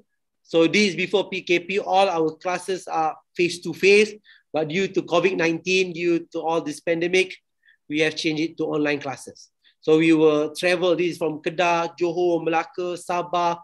We have done to many, many universities, colleges, hospitals, uh, private sectors, gym, factories, right? But now we have our mission and mission is still to make sure that satu rumah, satu terlatih CPR. So there's a lot of awareness campaign going on. Right, I was on TV many many times, but unfortunately, no one watch TV anymore. Right, so so they will not be able to see me on TV. So semua orang tengok Netflix. So people know the artist on the left and right, but not in the center. Alright, so you banyaklah benda. Alright, so let's just start now before I go for the untuk kita start dia punya step. We got about seperti half an hour lah kita ada sebelum kita buat question and answer. Tuan-tuan ada lima syarat. I need hope, hope, I hope that all of you can follow these five basic rules for us to to to conclude today class. Sebab kalau tidak, saya tidak maulah kelas hari ini hanya datang hanya untuk mengisi attendance dan sebagainya. So let's just go with these five perkara saja. So can everyone agree number one the reason why I joined today class, the reason why I joined today class, everyone kena cakap pada diri sendiri. My main reason is alright for me to learn this uh, topic to belajar uh, subjek hari ini so that if anything happen to my family members, I'll be able to perform CPR. Boleh? The reason why you learn today so that you can, you, if anything happen to your family members, you can help them. You can assist them. You can become a hero. Clear? So the reason number one, so that I can save my family members.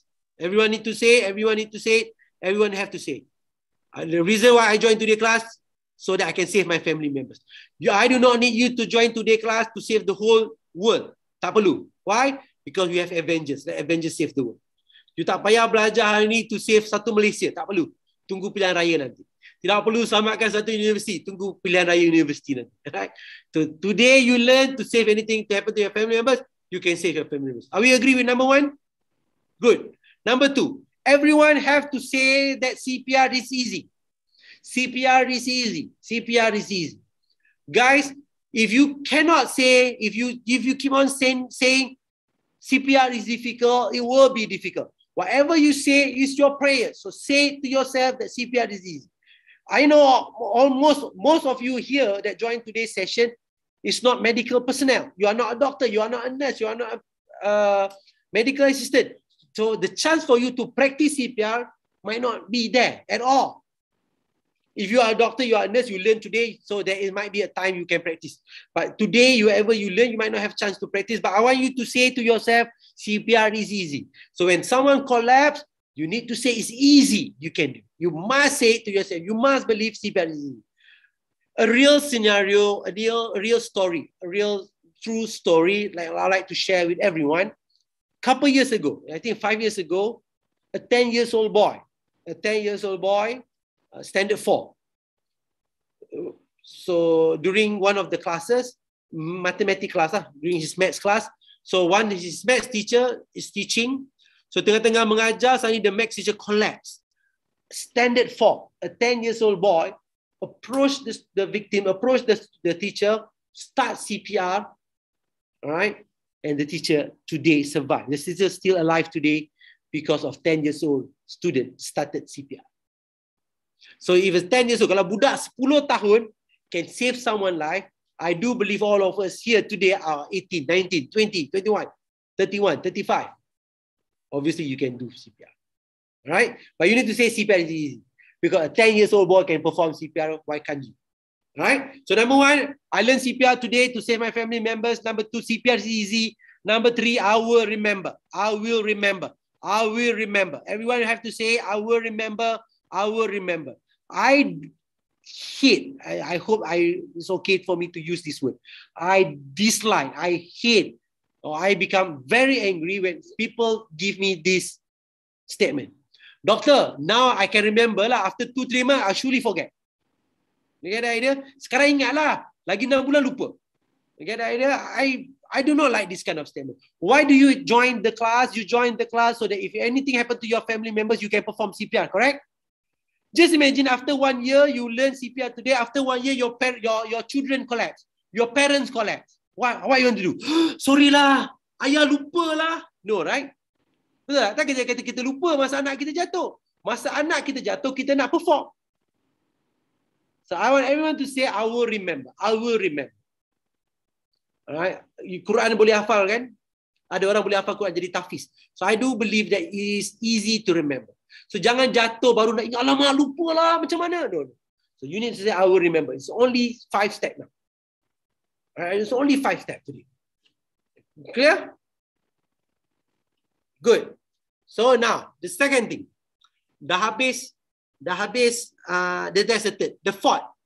Anyone, semua orang kena cakap, saya berani. Saya berani. I have the courage. I am brave. I do have the courage. Ha, saya berani. Kena cakap saya berani. Why? Guys, it's like this. Do you know that someone, there's a lot of people out there have driving license, but they do not know how to drive. Why? Because once they got driving license, they scared to drive. So what is the purpose of having driving license? So same thing with CPR today. I'm going to teach you guys CPR Tapi realiti sebenar, you do not have the courage to perform CPR. Kenapa nak buat? Why are you learning today? You are wasting everyone's time, including your time. So you must have the courage. Kenapa you must have the courage? Because, because your first objective to save your family members. Betul tak? I don't want you to scare. Why you I want you, contohnya ramai orang, a lot of people become scared because you scared when you perform CPR, you kill someone. Have you heard of this scenario? One, two, three, four, five, cik, jangan cik, nanti dia mati. Don't stop CPR. You kill the person. A lot of people think they might kill the person performing CPR.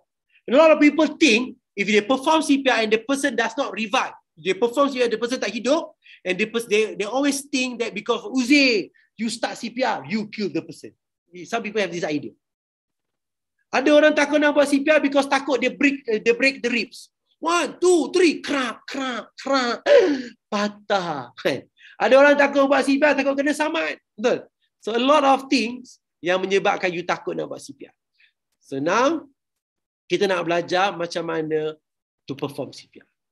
So that the rest, you're going to save your family members. Dan kalau kena ada legal complication, nanti kita bincang kemudian. Boleh? Tapi now, let's just go. So all of us agree with this four. Number one, I learned today to save my family members. Number two, CPR is easy. Number three, I will remember. Number four, number four, um, I will have the courage. I have the courage. I am brave to perform CPR. Ya?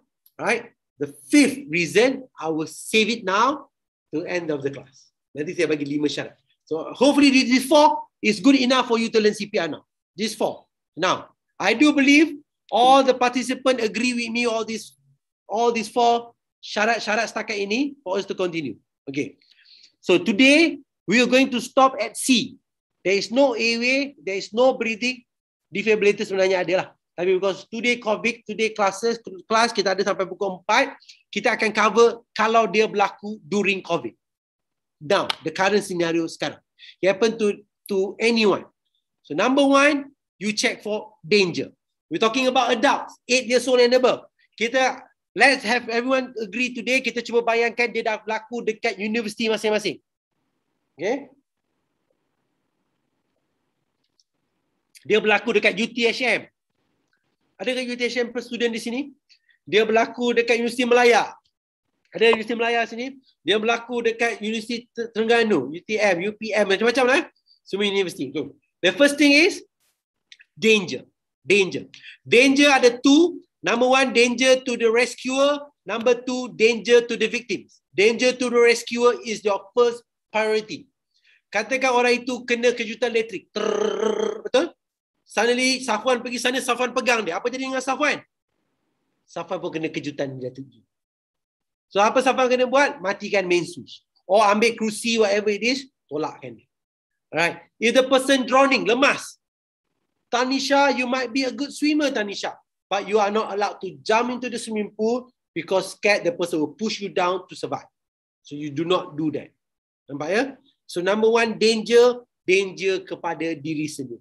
Faiz Zulkifli masuk dalam makmal, lab, laboratory. Suddenly you feel ada lab lot of oxygen, ada ada ada oxygen pula. Dan ada ada chemical, ada gas beracun dan sebagainya. Kalau apa yang Faiz kena buat, Faiz you need to pull the victim out from the lab. You cannot perform CPR dekat dalam lab or else you want to Faiz baring sebelah ni. Ingat, danger number one kepada siapa? To the rescue. To the rescue. Everyone understand now? Agree? Semua orang kena faham. So if it's not safe for you, do not jump. Do not do it. So this what happen during real scenario. Kalau dalam kawasan bomba dan sebagainya, katakanlah dalam bomba, dalam kemalangan, sometimes you can see kalau dalam dalam dalam dalam kawasan disaster. Bomber will go into the red zone. The paramedic will wait at the yellow zone. Dia tak masuk dalam red zone. Sebab red zone is considered danger zone. Dia tak masuk. Selagi dia dalam danger zone, kita tak buat. Kita kena keluarkan kepada yellow zone, tempat yang selamat to perform CPR. Okay, now, next one. Second thing, let's just go on COVID. Today, the doctors, the nurses, the MA, the paramedics perform CPR. Perform. Tapi do you notice that what happened today in SOP? The doctors, the nurses, MA will not touch the victim unless the doctor are fully with PPE. Dia kena pakai glove, dia kena pakai mask, dia kena pakai face shield, dia pakai apa. Okay. So number one, check for danger. Danger kepada siapa? Danger kepada diri sendiri. So during COVID-19, so apa yang dia kata, American High Association says that first of all, rescuer kena anggapkan everyone is positive until proven otherwise. Okay, now kita cuba. Because only four, only six of them on their camera, so I only call six of them, right? So the rest of you tak buka kamera, tak tahu nak panggil siapa. Cik Safwan, Cik Safwan, buka mic Cik Safwan, saya tanya soalan. Cik Safwan ting, uh, daripada universiti mana? Uh, saya daripada UTSM tu. Ya? UTSM. UTHM. Ya betul. Alright, Cik Safwan. Pelajar ke pekerja staff? Uh, saya pelajar sama dengan Zamzuri dan juga Faiz. Alright, satu geng. Okay. So Cik Safwan suddenly now, you go in the public area. Cik Safwan pergilah dekat UTHM, I'm not sure lah. Dekat mana pelajar-pelajar selalu lepak lah. Alright, katalah you pergi library lah. Saya pelajar lepak kat library kan. Okay, katalah. Okay. Kita keluar lah luar universiti. You pergi jalan dekat, dekat, dekat, pergi McDonald. Okay. Suddenly you nampak ada someone collapse in front of the McDonald. Alright, someone eh, a guy collapse in front of the My question now, is the person positive or negative? Maybe positif, maybe negatif. Right. Maybe positive, maybe negative. You need to change your way of thinking. Menurut kata World Health Organization, you need to think everyone is positive until proven otherwise. Clear? If you meet anyone, you jumpa sesiapa saja, you kena anggapkan dia positif. Safwan duduk dalam pergi pergi makan dekat cafeteria. Cafeteria betul? Uh, kawan depan tu positif ke negatif? Positif. Yes, that is the way you supposed to think. Betul? So kalau you rasa dia positif, will you share your meal? No sir. No. Nampak tak? You will share the plate? No. You distance yourself. You do not shake hand. Betul? You pakai mask. You get the idea? Because you need to think everyone is positive. Boleh? Boleh? Clear? So you need to think everyone is positive from now on. The only way for you to confirm is the person negative dengan swab. Nanti dia swab, then dia negatif lah kalau result keluar. Or else everyone is positive. Okay, now. So back to my question. Safwan pergi jalan dekat McDonald's, suddenly you notice someone collapse in front of McDonald's. Safwan, orang tu positif ke negatif? Positif sir. Good. So my question now, do you want to help the person? Nak tolong tak Safwan? Yes, I will sir. Nampak? Nampak? So now, Safwan, according to law, is your own willingness. Safwan kalau dia kata dia tak nak tolong, tak ada masalah tuan-tuan, CPR tidak boleh dipaksa. Alright? You must do it CPR voluntary. Dengan suka rela. Safwan tak nak buat pun tak ada masalah. Tapi kalau boleh, we I hope and pray that every one of you will perform CPR. Alright? Tapi the first rule, Safwan kena check danger. Danger kepada siapa Safwan? Diri sendiri. Alright? Because the person is positive. So Safwan, you need to make sure that you are safe. So according to World Health Organization, number one, rescuer must have mask. Boleh? Pakai mask tak cukup, pakai double mask. I got one more, pakai lagi satu lah kalau boleh. Okay? Pakai mask. Good. Number satu, pakai mask.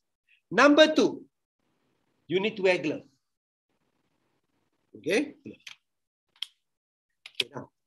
Come to glove, So there is a lot of argument dalam World Health Organization. They says uh, we found the person at McDonald. How can we find glove? Betul tak? Ada orang tanya macam tu. Okay. Dia tak buat apa-apa. So World Health Organization says that you can perform CPR bare hand tanpa pakai glove. Can. One condition, throughout CPR, do not touch your own eyes, your nose, your mouth sepanjang waktu CPR. Okay? Safwan buat CPR, jangan pegang mata hidung, jangan garu perform CPR. After you complete CPR, wash your hand with soap at least 30 seconds or hand sanitizer. Clear semua? World Health Organization juga in the same time says that dia prefer a frequent hand washing versus glove. A study shows that sebenarnya kalau you pakai glove, orang lebih tak hygiene because a person wear glove, you nampak tak? Dia akan type komputer kejap, lepas tu dia pegang patient, lepas tu dia ambil dia ambil tu lepas tu dia pesan apa tak? The germs actually lebih banyak merebak banyak tempat. You wash your hand is actually much better. Tapi itu pula eh, tapi the World Health Organization says you first you wear mask, second you pakai glove kalau tidak you still can perform without having glove. Just that do not touch your eyes, nose or mouth. After you completed, please wash your hand 30 seconds. That is number one. And number two, you need to make sure the victims, mangsa pula, must also have mask. Alright, mangsa kena ada mask. If mask is not available at that place, kalau mask tak ada di tempat kejadian, what we can do, kita boleh pakai plastik Kalau tak ada plastik, you boleh ambil kain. Okay, ambil kain. Tutup muka bangsa. So one of these three. Clear, clear? So number one, you cannot clear from danger, you are not allowed to start. Safwan, Safwan pergi tepi McDonald, you have the good intention want to help the person, but you tak pakai glove. You tak ada mask. You are not allowed to do it. So why you you tolong tolong tolong. So cari cari mask, cari mask. You have to have the mask. Tak ada glove. Acceptable, tapi make sure you wash your hand after that. Before and after, eh? before you start you wash, after you finish you complete you wash. Then you gonna cari mask or kain or uh, plastic on the person face. Are we clear with the number one danger? Okay, so danger number one is on the environment because of the COVID-19. Kita kena ada extra precautions. So do not go on the high voltage. Tadi Faiz buat electrical. Siapa Zoom, Zoom apa tadi? Zamzuri pun buat electrical, betul? So separuh tempat you need to understand some places are high voltage. Only charge man boleh masuk, wireman boleh masuk contohlah kan. So you need to make sure that it is safe for you to enter. Tempat-tempat yang tempat lemas, laut dan sebagainya. Tempat tu terbakar, fire. So make sure that everything clear from danger. Danger clear. Number two, check for response. Number one, danger. Number two, check for response. So how do you check for response? You tap on the person's shoulder and call. Hello, hello, are you okay? Hello, hello, are you okay? So this is how you're going to do. Okay. So it's the person I'm just going to show to you. So number one, check for danger. Number two, check for response. Okay, number two, check for response. Tap and call. Tap on the shoulder, call. Hello, hello, are you okay? Hello, hello, are you okay? Hello, hello, are you okay? Clear? Tap on the shoulder, call for the person. So what's the script? Hello, hello, are you okay? Do not change the script. Hello, hello, how are you? Hello, hello, how are you? Tak ada hello, hello, how are you? Okay? Hello, hello, are you okay? Okay, now. So how, what do you do? Tap on the shoulder macam tu. Do not go too loud. Oh, sakit dia. Alright? But don't go too soft. Tak? Enggak. Ini kerja orang bangun tidur. Sedang ada lah. Hello, hello, are you okay? Hello, hello, are you okay? Tap and call. Shout at the person here, call. Hello, hello, are you okay? That is the only thing you are allowed to do. Never shake. You also you also affect the spinal. Some people like to shake. Some people like to massage. No such massage. Okay? Ni bukan rumah urut. Okay, Safan tak ada happy ending. So tak ada urut-urut. So tap and call. Hello, hello, are you okay? Hello, hello, are you okay? Itu je. Some people like to slap. No, do not slap. You slap dia, dia bangun, dia tampar balik Cik Zuhairi. Ha, lagi sekali, tak ada. So, tak ada tampar-tampar, right? tak ada tap, tak ada ambil air renjis-renjis, ambil air wudu, kan dia, tak ada. No such thing. The only thing you want to do, tap on the shoulder and call. Encik Safwan, jatuh perempuan 18 tahun, cantik, model. Boleh sentuh? Boleh. Di bahu sajalah. Cik Safwan jangan pergi sentuh tempat lain. Hello, hello, you okay? Tak boleh. Bahu. Get the idea? Tinash, Titana, Tanah. I can read your name. Tanah, Tanah Nisha. Yang jatuh tu a guy, 24 years old, handsome. Betul? Can you can you wake the person? Yes. Bahu saja. Betul? So a male can do to female, female can do to a male. In the condition, you tap on the shoulder. Itu saja. Tap and call. Hello, hello, are you okay? Hello, hello, are you okay? So what are we doing? You want to check for response. So katakan tadi, do you remember the scenario just now I balik rumah, you tap. Hello, hello, are you okay? Dia bangun. Maksudnya apa? The person is sleeping. Eh, tidur ke? Settle. Remember not the earlier statement when I say we go into a room, betul? You tak tahu dia sedar tak sedar kan? So you tap for to check the person, the person's conscious, settle lah. Right, so you tap, you see. But when you tap, there's no response. Betul? So remember CPR, kita buat unconscious, no breathing, no pulse. So first number one, you dah tap, you tap that is unconscious. That person tak tidur. Ha, kalau tidur mati, susah sikit lah you matikan dia. So, you kena, so, so basically, kalau orang tu tidur, kan, senang nak tahu sebab sama, sama of us tidur kita ada bunyi-bunyi sikit, betul tak? Macam Uzair mungkin motorboat. Ah, hidup ni. Kan? Some people bunyi dia kuat lebih kan. Keluar rumah dah boleh dengar. Some people tak. okay. So you easily because tapi yang senyap ni yang senyap betul tak? Alright. So number okay. Horn kapal. Ha. Tong. dia ada horn. So some of us are very good. lah. Tak ada. Most Okay, that is a second story again. Nanti kita bincang kemudian. Tapi basically, you tap, the person akan bangun lah. Kita tengok macam mana respon. Okay. So you tap to check if the person have respond or not. So far clear eh? Kita pergi basic, kita pergi basic supaya semua orang tak, tak nak tak nak pening kepala. Tap check, check. Dia bangun settle. Tapi kalau dia tak bangun, so you already trigger the person is unconscious. So now, the second step, you want to check is the person breathing or not the breathing. Okay, so lepas itu baru kita pergi dia panggil the next step scan. Scan, betul? Scan. So scan for what? For you to know is the person breathing or not breathing. For you to know the person have pulse or no pulse. Okay. Kalau siapa yang pernah belajar dahulu, Encik Zuhairi, Safwan, Tanisha, Varta, Uze, dulu, trust me, you guys have learned this method. Betul tak?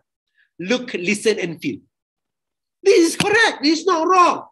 Tapi the latest guideline they have changed. But whoever have learned before, yes guys, this is the method that everyone used to learn before. You check for the person breathing by looking at the person punya chest, naik turun. You hear for the breathing and you feel. Kadang orang nafas ada bau, ada bau panas. They call look, listen and feel. Ini method 2015. 2020 updates, they have updates and the latest guideline, this is for doctors, MA and paramedics. Dia orang lihat pergerakan dada, they look for the chest rise, they check for carotid pulse. This is for doctor, MA, paramedic. Non-healthcare provider, orang-orang awam yang lain, you just check for the person breathing, checking the person punya dada naik tak naik. Okay, now. Why you check for the person punya breathing? So now, question. Kalau tangan, Harta. Ya? kalau tangan. Kalau tangan during emergency, carotid saja, during, during okay? The idea very simple, uh, Uzair. Carotid pulse is just to double confirm that the heart pumps straight to the brain. Kalau you check pada tangan is relevant during emergency. You have to make sure does your heart pump and send blood to the brain. Kalau dia circulate kepada tangan tak, tak relevant tu yang pertama. Yang kedua, dalam waktu CPR, kalau tangan boleh cari lah cari radial betul? Alright? Kalau you lagi sukar nak dapat sebenarnya berbanding dengan carotid, carotid is really lebih senang nak, untuk dicek. Tapi American Heart Association say you only carotid pulse tak cari. Kalau baby, Uzair, yes kita cari dekat lengan. Itu for babies lah. For, for adult, only carotid pulse for emergency. You want to double check atau you nak confirm betul tak darah pergi ke otak. Okay, okay now. So back to healthcare provider, non-healthcare provider. So dia kata non-healthcare provider, abaikan saja carotid. Non-healthcare provider, Uzair, Tanisha, Varta, Safwan, lihat pergerakan dada. So how long that you need to look for the person punya chest rise? 10 second. 1, 2, 3, 4, 5, 6, 7, 8, 9, 10. Tanisha, on your mic. Test your mic now. Can you, don't off your mic. Can you hear me? Say something. All right, Tanisha, please buy a new microphone. Off your mic. Varta, on your mic. Varta, Hello? good. Varta, 10 seconds. Yes. Count, count, count. One, two, three, four, five, six, seven, eight, nine, ten. Okay, now Ten you can you can see the person chest ada movement. What does it mean? It means that the uh, victim is alive and breathing. Yes. Do you perform CPR? Uh, no, Why? uh, because uh, we perform CPR on just dead bodies. Good. Get the idea? person. So why do you, why Va- Vata does not perform CPR? Because the lung is sending the oxygen to the brain automatically. Why must Vata send manual? Clear? Alright. So sekarang ni Tanisha sebab dia tak dengar, tak kira tak. So Tanisha count 10 second. 1, 2, 3, 4, 5, 6, 7, 8, 9, 10. No movement. Clear? Means the person is not breathing. Okay, now I want every participant to be very confident in this. I want every participant to be very superly confident in this. What does it mean? It means that you need to make sure that you know the person is breathing or not breathing. Sekarang ni yang saya takut, Safwan, dada dia gerak tak? Entah. Macam mana? Macam tak ada. This is the biggest issue. Get the idea? One person, tanda, Zarta kata nampak breathing. Senang tak? Senang lah. Tanisha kata tak nampak. Senang lah. So the problem that we always face if we get rescuer that is unsure. Betul tak? I don't know lah. At one angle nampak macam gerak. One angle tak nampak gerak. Okay. So dalam to make you everyone easy dalam CPR, if you cannot see the person movement, you start CPR. You can see the chest movement, don't start CPR. If you doubt, ragu, ragu, start CPR. Clear? Clear? Good. How to check pulse for a fat person? You need to become a doctor. I'm going to be very straightforward. I'm not going to teach how to check carotid pulse because carotid pulse is only for healthcare provider. Are we clear? All right. So you do not need to know how to check fat person. Orang tidak. Only healthcare provider check for pulse. All right. So all of you are not healthcare provider. Ignore pulse. Okay. All right. Now, next, shout for help. So danger, respond, scan, shout. Shout for help. Untuk bantuan kecemasan, there are there are three way things that you need to be very specific. Ada tiga benda dalam waktu kecemasan yang perlu dibuat. Tiga perkara. So number one, dia kata dalam emergency, number one, shout, when you shout for help, number one, you need to appoint one person specifically. Never do announcement. This is announcement. Siapa di sini, please call 999 and get me AED. Nampak tak? I make announcement. So I got 30 of them here. So what happened? When I do announcement, everyone will think someone else will call. So end up, nampak tak? Semua tak gerak. Nampak tak? So dalam emergency pun sama. Ada 30 orang kat tempat kerja. Please call 999 and get me AED. No, you don't do that because people will think other people will call.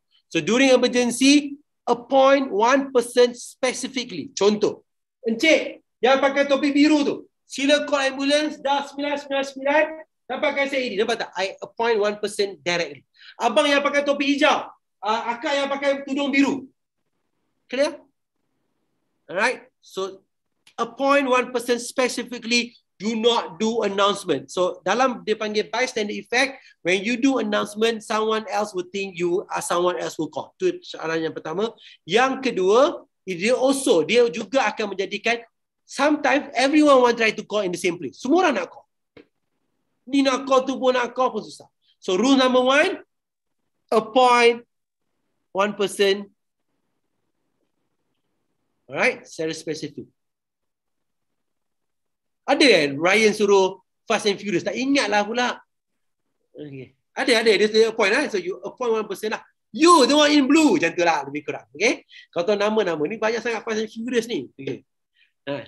Okay. okay. Now that's rules number one. Rule number two, kena sebut 999.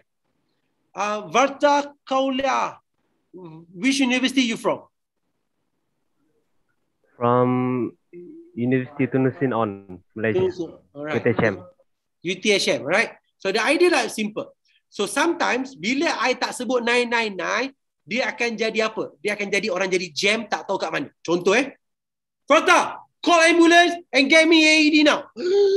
Fata akan fikir apa? Apa hospital paling dekat ah? What is the nearest hospital to your place? I'm not sure. Betul. Hospital uh, uh, Tengku Aminah ke? I'm not sure lah kan which hospital dia ni. I'm not sure JB punya punya geographically which is the nearest kan. Mungkin ada sometime when people think uh, KPJ dia akan fikir somewhere medical center, uh, Vicina macam-macam lah kan. So sometimes because they are so used. Ha, hantar hospital H-Star, dia hantar hospital Shah Alam kan. Saya tak tahu. Tengku Puan Rahimah. So um, they are not sure dekat mana yang patut dihantar. Betul? So jangan kisah pasal hospital. So during emergency, you need to say 999. And do you know that some Malaysian tak tahu 999? Some Malaysian ingat nombor telefon kecemasan 911. They call 911. Tonton tak dapat pun 911. Tukar kerajaan tukar nombor ke? Tak ada tukar kerajaan nombor sama. Alright, they still think 911. Dia ingat US. Kan, selalu tengok TV. Kan? So it's 999. Nampak? Liana pun tahu. Liana ada. Seriously, dia pun tak tahu. Ke, ke Liana saja kan? Orang tak tahu kan nombor apa. Okay. So now, saya nak tanya. Ni serious question eh. Faiz. Call 999. Betul? Right? Faiz tapi masa tu kredit Faiz tak banyak. Macam mana Faiz? Faiz punya kredit tinggal 20 sen. Macam mana? Boleh tak call 999 Faiz? Boleh. Tak. Boleh. Boleh. Boleh. boleh. Kamu kredit tinggal sikit. Miss call lah. Miss call nampak Faiz lagi bagus. Dia miss call 999. Bertuanya budak. Tak ada miss call. Alright. 999 adalah percuma. Betul? So siapa yang tak ada kredit, kredit dah habis, emergency call adalah free. Okay, please tell your friend that don't worry, you tak ada kredit pun, dia percuma. Jangan bagi tahu kat abang abang apa? Abang reception tu. Bang, bang, bang. Saya tak cakap lama bang, kredit tak ada. Call balik boleh. Tak payah. Okay? It's free. You can call unlimited. Boleh, boleh, boleh? So 999. Okay, good. Okay. Jangan bagi tahu dekat hospital tu, you nak hospital mana. Dia yang tentukan. You jangan pandai Bang, saya kalau boleh nak hospital JB boleh tak? Rumah saya dekat sana. Tak payah. They will decide which hospital for them to send. Right. If the call numbers it might work because the person might not able to provide details of the location. Yes, correct. Uh, you call 999, they decide which hospital to send. They will decide which is nearest CCC. They call it CCC center. The CCC center will decide which hospital to do. There is a lot of system in Malaysia. Let me just explain to you about Malaysian emergency response system. They panggil MERS. Sometimes we send patient according to the series, uh, the patient according to the victim punya sakit lah. Kalau kata sometimes in Kuala Lumpur district, katakan jadi in KL, certain cases we don't send to HKL. Certain cases we send to Serdak. Certain cases we send to Sayang. Certain cases we send to PPM. Right? So it doesn't mean that you fall in front of hospital Ampang, you go to hospital Ampang. Tapi who make the decision? Call the call center will make that decision for you. Right. So let me just have disclaimer, guys. We do not send 999 to private hospital. It's only to all government hospital only. Clear, clear? So call 999. So number one, appoint one person. Akak yang pakai tudung biru, appoint. Number two, please call 999. Mention the word 999. Number three, please bring AED. Apa itu AED? Automated external defibrillator, a device that we use during emergency. Some places they call it PAD, public access defibrillator. It's the same thing. AED, automated external defibrillator, or a PAD, public access defibrillator. Okay, please call 999 dan dapatkan AED. Okay. Now, my question now, soalan saya sekarang, berapa is your university ada AED? Alright. Ada ke universiti mana yang ada AED? Raise your hand. Kita bangga sikit universiti kita ada AED. Raise your hand. Ha. Siapa ada? Siapa ada? Universiti mana ada AED? Ada, saya tak nak sebut. Tapi kena tahu. Kalau pelajar tak tahu universiti ada AED atau tidak. Tak pasti, tapi ada. First time punya itu don't know. Siapa-siapa ada, siapa ada, okay? Good. Guys, tak pasti ada atau tidak. One university yang saya tahu ada Universiti Teknologi Petronas, UTP. Ada ke pelajar UTP di sini? Tak ada, ni only private kan? Dia, dia public. This is public university, betul? Uh, universiti Teknologi Petronas ada, ada some of the university ada. Um, I think UPM ada. Uh, Universiti Melaya tak pasti. Hari tu saya nampak macam ada. Uh, some universiti ada, UTHM ada, good. Puan Nur Hayati, UTHM ada. Puan Nur Hayati Rosli, dekat mana AD di UTHM? Kita nak bagi Safwan cari. Puan Hayati. Pusat Kesihatan Universiti lah. Apalah Safwan. Kita dah nak. Okay, good. Alright. Okay, this place will be placed dekat public area lah. Dekat forward, CPR without AED, survival rate is 30%. CPR plus AED, survival rate is 65% to 70. Means chances untuk dia hidup double. Okay. So, kenapa kita ada AED? AED save life. Guys, do you notice, pernah tak tengok kejadian satu hari itu? Euro 2020. Tapi it was 2021 lah, tapi dia panggil Euro 2020. A football match between Denmark versus Finland. Ada tengok tak? Try to Google nanti, YouTube. Alright, malam ni semua orang pergi Google, number one, Manchester United, yesterday night, menang 3-2. Perfect. Power gila. Alright, tu game yang pertama semua orang kena tengok. Kalau siapa yang tak sokong pasukan bola siapa, I guess you guys need to support Manchester United. Alright, that's number one. Number two, Google. Yes, Lee Eng Queng please Google. Oh lama terus buka gam buka kamera lah. Salah okay. Good. Uh, kepada Liverpool, please leave the group. Tiba-tiba, no, no, I'm just kidding. Okay. Uh, you can Google number two Euro 2020. Ericsson, pemain bola sepak Denmark, collapse atas padang because of cardiac arrest. Serangan jantung, dia collapse and AED save him. CPR, early CPR, early AED save the person. Okay? Alright, now. Kita balik kepada topik. Terima kasih. Saya tak tahu Dr. Latifah pun Manchester United. Alright, good. Okay, now. Balik kepada topik. Balik kepada topik. Terima kasih. Okay. Back back to the topic. So number one, danger. Number two, respond. Number three, scan. Number four, shout. Shout for help. Tolong call 999. Uh, appointment person, then get number one. Okay. Now, next adalah compression. Compression. Alright, 999 satu Malaysia satu nombor police, bomber and also ambulance. Next adalah compression. Dekat mana nak tekan? Where do you actually compress? Dekat mana you nak compress? Alright, Chu pun dah bagi YouTube punya link. Thank you Chu. Alright.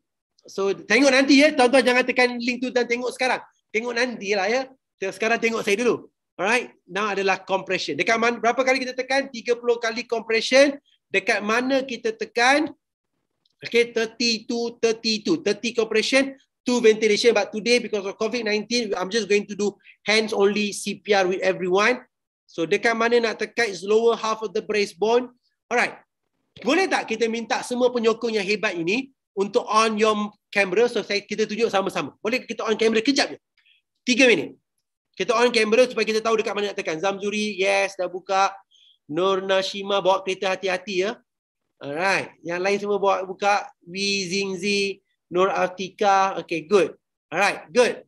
Dr. Latifah pun dah buka. Good. Alright, kita nak tengok dekat mana kita tekan. Zakwan, Aiman. Alright, kita buka. Kita nak tengok dekat mana kita tekan. Okay, boleh ke semua yang dah buka kamera, yang belum buka kamera, buka. Semua sekali pegang perut masing-masing. Itu dia punya syarat. Pegang perut masing-masing. Yang lain boleh buka kamera, pegang perut masing. Can you touch your own stomach? Alright, now.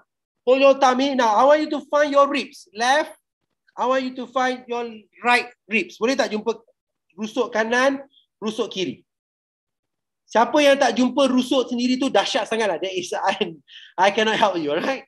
Okay, now. So you can see, right? Rasa rusuk kanan, rusuk kiri. Liana An dapat jumpa? Alright. Okay, dah. Dah. Cari, cari, cari.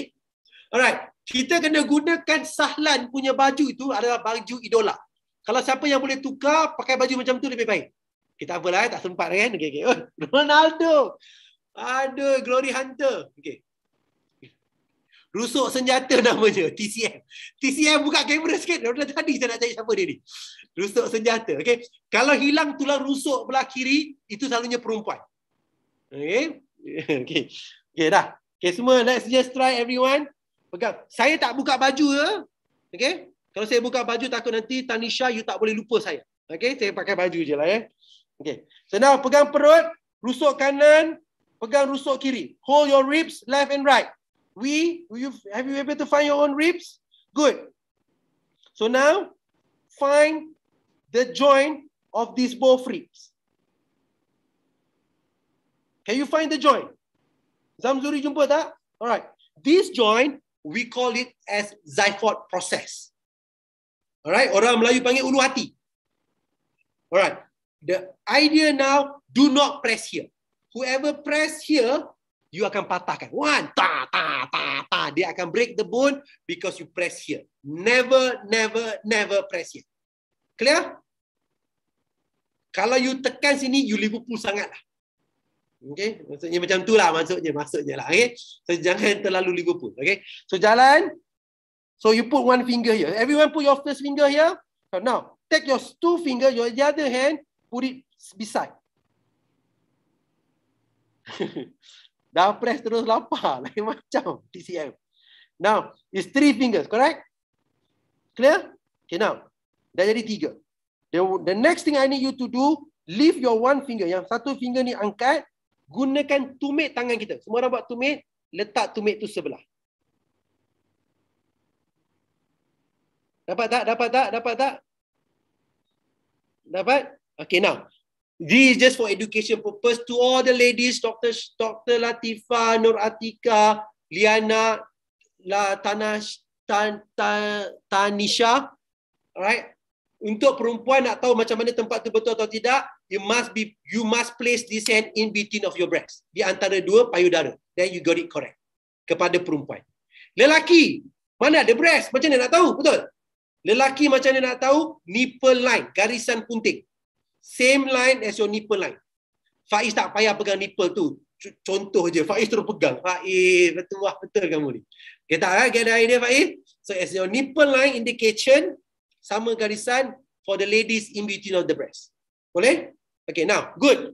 Semua sekali buat tangan kiri macam ni. Sebab saya, kita mengejar waktu sikit kawan-kawan dah pukul 4 dah ni. Alright, tangan-tangan tangan macam ni. Satu lagi tangan naik ke atas. Good. Satu jari satu. Good. Jangan poligamikan dia. Tak nak macam ni. Tak nak dua.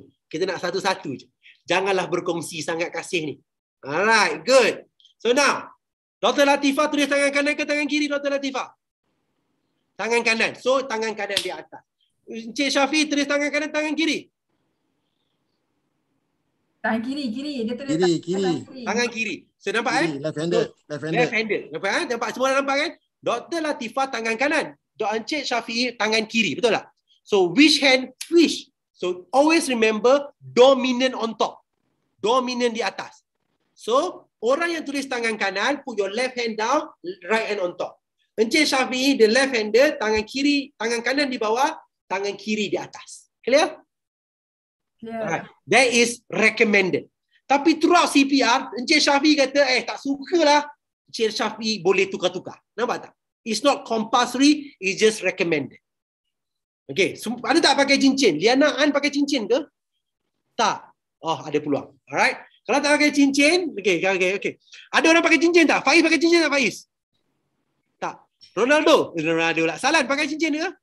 Tak. Semua orang ada siapa tak sini? Any one of you wear rings?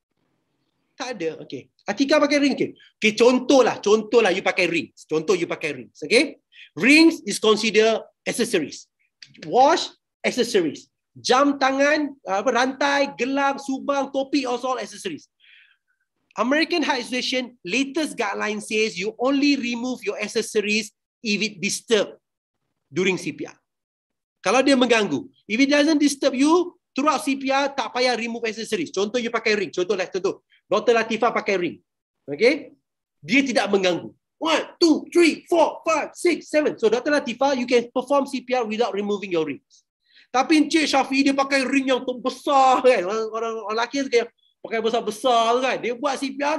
One, two, adai, adai. Kenapa? Sakit dia. dia sakit kan? So Encik Syafiq kena stop, remove the rings. Get the idea?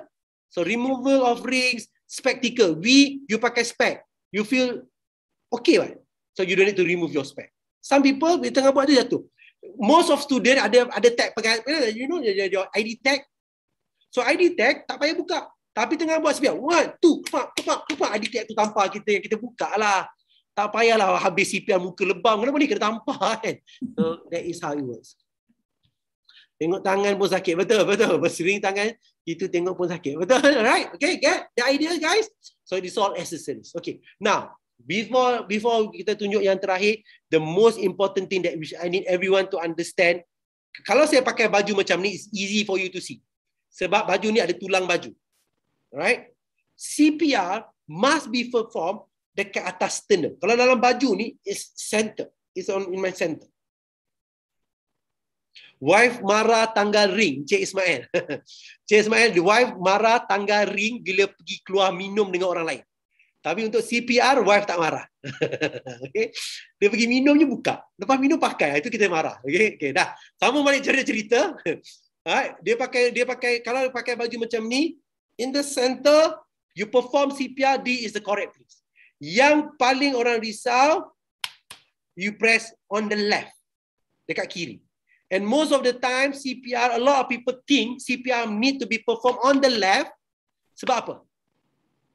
Sebab dia ingat jantung sebelah kiri. Jantung sebelah kiri. Okay? Bila jantung sebelah kiri, betul. Tapi sebenarnya jantung kita di tengah-tengah. What we need you to do is to compress your sternum, tengah-tengah. Bila you tekan sternum, sternum tu tak patah sebab sternum tulang paling kuat. You press on the left, you tekan atas ribs.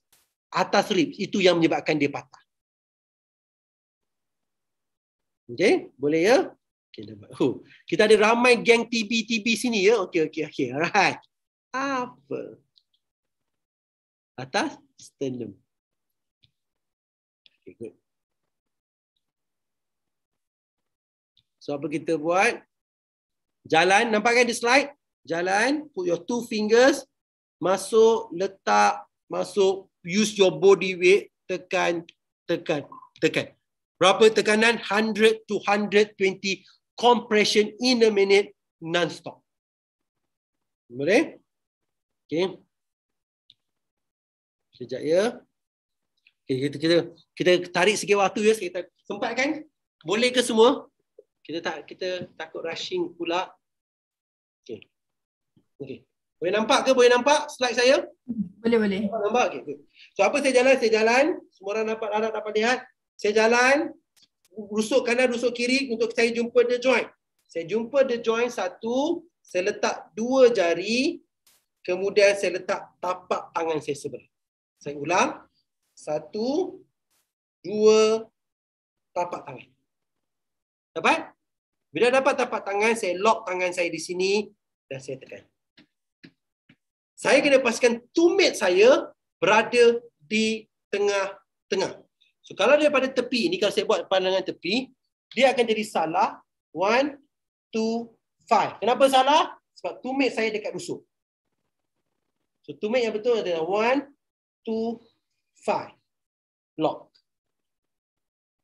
Okay? So, pada pandangan depan balik, saya ulang balik ke depan. So, masa saya buat, saya kena pastikan tangan saya, siku saya ini lock dan tidak bergerak. One, two, three, four. Kalau siku saya gerak, one, two, three. Nampak? Dia segi salah sebab dia akan buka. So, kena lock straight. Okay. One, two, three, four, five. Okay, nampak? Okay. Then it will be Perfect. Dan masa saya tekan, saya kena ada chest recall, pantulan semula. Satu, dua, tiga, empat, lima, enam. Nampak tak? Ada pantul semula. Jangan tekan terlalu laju.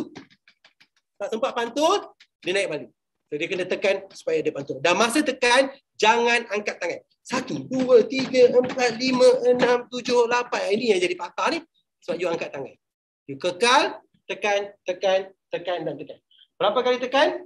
30 kali tekan. Tapi untuk COVID, you akan tekan dia panggil hands only CPR tekanan berterusan.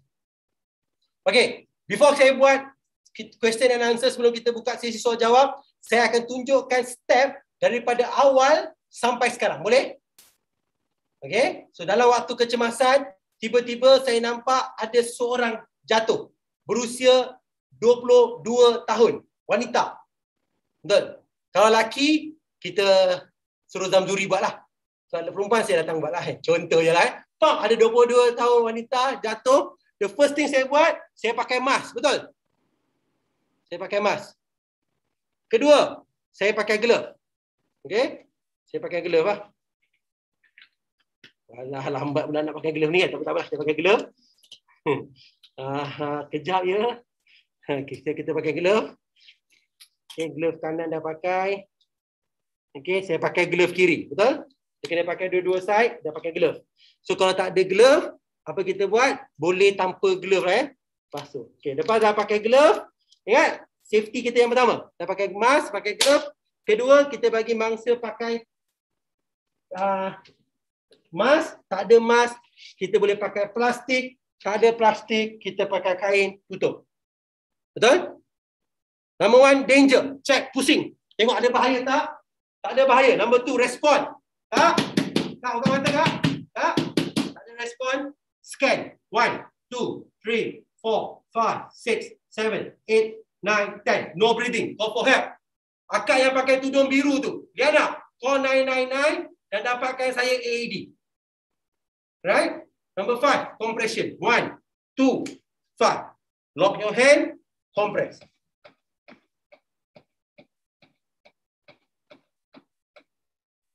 This is what we call hand-only CPR semasa COVID. Inilah cara dan tindakan anda. Adakah anda perlu buka airway? Tidak. Perlukah anda bagi mouth-to-mouth resuscitation? Tidak. Tak ada perlu rescue breath. Tak ada uh, open airway. Kita hanya akan tekan, tekan, tekan sehingga empat perkara. Semua orang tulis. So kita akan continue, continue, continue sampai empat perkara. Perkara yang pertama. Sampai bila? Sampai mangsa sedar. Berapa lama mangsa sedar? Oh, tak tahu. Ada 10 minit, ada 15 minit, ada 30 minit, betul? Yang pertama, tunggu sampai mangsa sedar. Kedua, mangsa tak sedar-sedar juga. Nak buat apa ni? Dah letih dah. So yang kedua, kita buat sehingga ambulans tiba. Agak-agak berapa cepat ambulans sampai kat dalam fakulti masing-masing? InsyaAllah tak lama kot sebab semua ada fakulti, ada pusat kesihatan kan? Semua ada ada nombor kecemasan yang boleh kita hubungi. So katalah 20 minit contoh lah. Kan? So, soalannya sekarang, Liana tengah buat. Dia tak sedar-sedar. Ambulans tak sampai-sampai. Penat tak Liana? Liana penat. So yang ketiga, Liana boleh berhenti sekiranya ada orang ambil alih. Tiba-tiba Safwan sampai. Safwan buat apa tu? Tolonglah. Baik, Safwan datang bantu lah. Safwan pula penat. Zamzuri bantu. Zamzuri penat. Faiz bantu. Nampak tak? So the third one, if someone. So number one, you cannot stop. You must continue give hands only CPR unless until the person revive or the person survive. That is sign of life. But or until ambulance arrive. Tak survive juga, tak arrive juga until you get another person take over. Okay, now the scenario like this, it happen at Liana punya dom, bilik sendiri dengan satu kawan, dengan satu Liana dengan satu kawan dekat dom Liana contoh. Contoh sajalah. Your friend collapse, you perform CPR. No one else there, it's only you and here. Only two of you. Betul? Number one, you perform anti-ambulance until the person's revived, the person still not revived. You perform anti-ambulance arrive, the ambulance still not arrive. So number three, until someone else take over, but there's no one there to take over. So number four, Liana, you can stop until you are exhausted. Liana dah penat sangat, you can stop. Liana, do not continue CPR even you are exhausted. Nanti Liana dah penat, penat, penat. You keep on doing CPR. Liana collapse, kawan bangun, kawan CPR Liana. One, two, three, tak nak. Right? We do not want the rescuer collapse. So, tapi once you dah betul-betul penat, you betul-betul exhausted, you can stop. But you are not allowed to declare. Liana, please do not try to tutup muka dia. Hmm, Tuhan lebih sayang. Tak ada. Ha? Declaration kematian only can be done by medical doctors. Okay, jangan pandai-pandai declare dekat dom sendiri kan Tuhan lebih sayang dia tidak. So that is the fourth scenario that everyone need to agree and understand untuk kita. Guys, I am sorry kita dah terlebih waktu, terlajak waktu sedikit. Alright. So what we're going to do are very simple. Let's just go. Alright. Um, to get question ni terbuka sebelum majlis penutupan. Kalau ikut waktunya lah kan. Kalau kita kita lambat 15 minit, kita tarik sedikit. Saya tidak maulah mengganggu waktu masing-masing. So let's just be open with all the question. uh, you can ask question dengan cara raise your hand. Boleh ke? Semua orang di sini yang ingin tanya soalan tu raise your hand. I announce, I sebut nama, then only you unmute. Boleh ke? So siapa nak tanya soalan, please raise your hand. Safwan. Yes, Safwan. Please, silakan Safwan. Okay, doctor. Okay, first you said uh, people can survive after. Hello. Okay, yeah, okay. Sekarang dengar. Sekarang better. Okay. Sorry. Okay. okay. The people still can survive after four uh in four minutes after the blood and the air did not come to the brain. Mm-hmm. Okay, so in this case, like you, you like the like doctor said before, the ambulance takes thirty minutes to arrive. Mm-hmm. Okay, so what about the four minutes? All right. What about the four minutes? I, your question, your question. Be specific on your question. Uh, okay. Uh, sorry, okay. The, uh, okay lah, macam ni lah. Okay, orang tu ada masa empat minit saja untuk hidup. Okay. Okay, tapi macam doktor bagi tahu ambulans akan datang ambil masa 20 minit. Hmm. Okay, jadi um, dalam masa 20 minit tu, 4 minit sudah habis.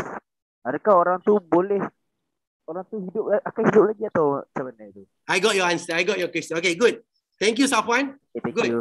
Thank you. I got your question. All right. Next. Soalan kedua. Raise your hand. Raise your hand. Anyone else? Uzair. Yes, Uzair. Now I see that in the they said uh, now it recommended for the American citizens, every person they need to have EpiPen.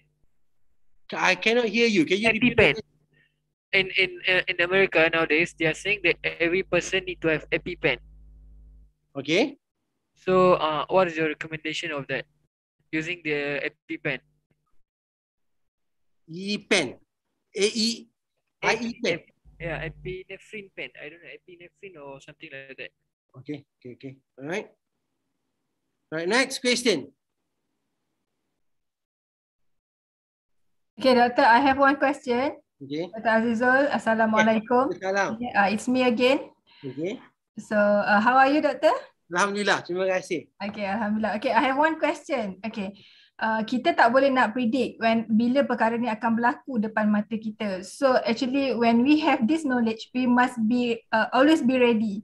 Okay, uh, maksud saya ready tu taklah bersedia dengan uh, face mask of course sekarang ni kita memang sentiasa ada face mask tapi macam hand glove tu mungkin pada ketika benda tu berlaku depan mata kita kita tak ada lah hand glove tu.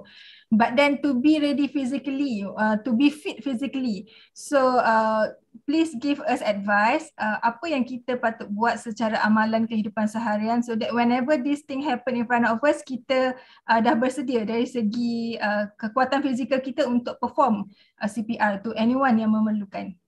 Okay. Alright. Okay, okay, okay, okay, okay. Good. Terima kasih.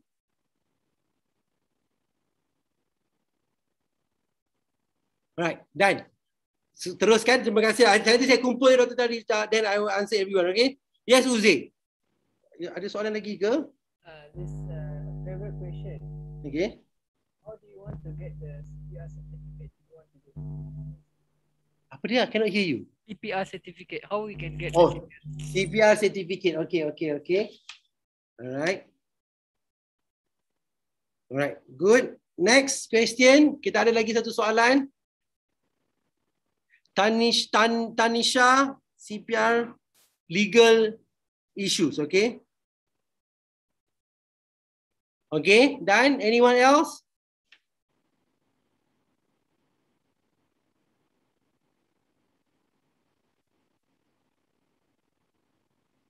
Anyone else? Sekejap ya, let me just check here.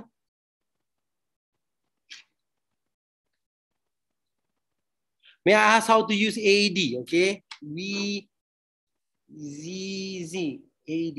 All right. All right.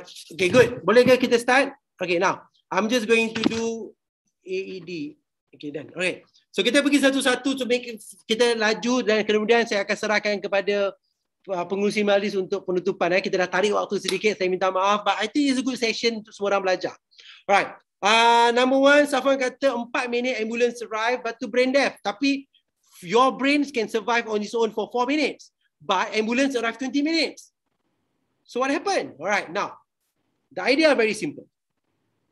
Safwan, when the person collapse, no CPR being given to the person. You are just wait for the ambulance. After four minutes, brain death happened. So when ambulance arrive 20 minutes, obviously the person is dead. So what we need to do, Safwan, when the person collapse, you start CPR. When you start CPR, apa you buat Safwan? You give the blood and oxygen to the brain non-stop. If you give the brain and oxygen, the oxygen and also the blood to the brain non-stop, setengah jam, 40 minit, ambulance datang satu jam pun dia hidup because the brain tak berhenti terima oksigen. The idea, the difference is automatic ke manual? Kalau automatic jantung dia pump sendiri, manual daripada Safwan. Tapi otak tak mati sebab apa? Sebab the brain is keep on getting oxygen and also blood. Otak ni dia tak kisahlah manual ke automatic ke as long dia keep on receiving. Clear? So kita ambil contoh macam ni. Kita ambil contoh daripada electrical lah. Betul? Tiba-tiba blackout, pump, hidup tak? Hidup. Sebab dia pakai generator. Dia bukan kisah lampu tu pun. Dia asalkan ada supply lah. Generator ke, main switch ke, kabel ke, dia tak mati. Tak?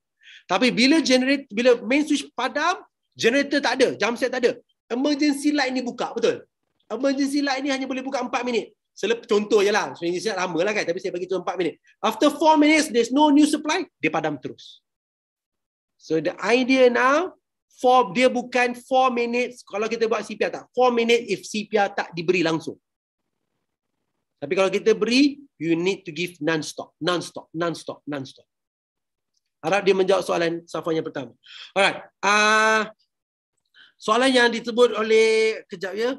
Uh, EpiPen in Malaysia is not compulsory, is not recommended, dia tidak dia untuk allergic alahan dan sebagainya. Dia tidak dipakai di Malaysia dan dia tidak is not something yang yang dibuat dan in first aid kit di Malaysia that also are not one of the equipment yang ada dalam first aid kit. Alright.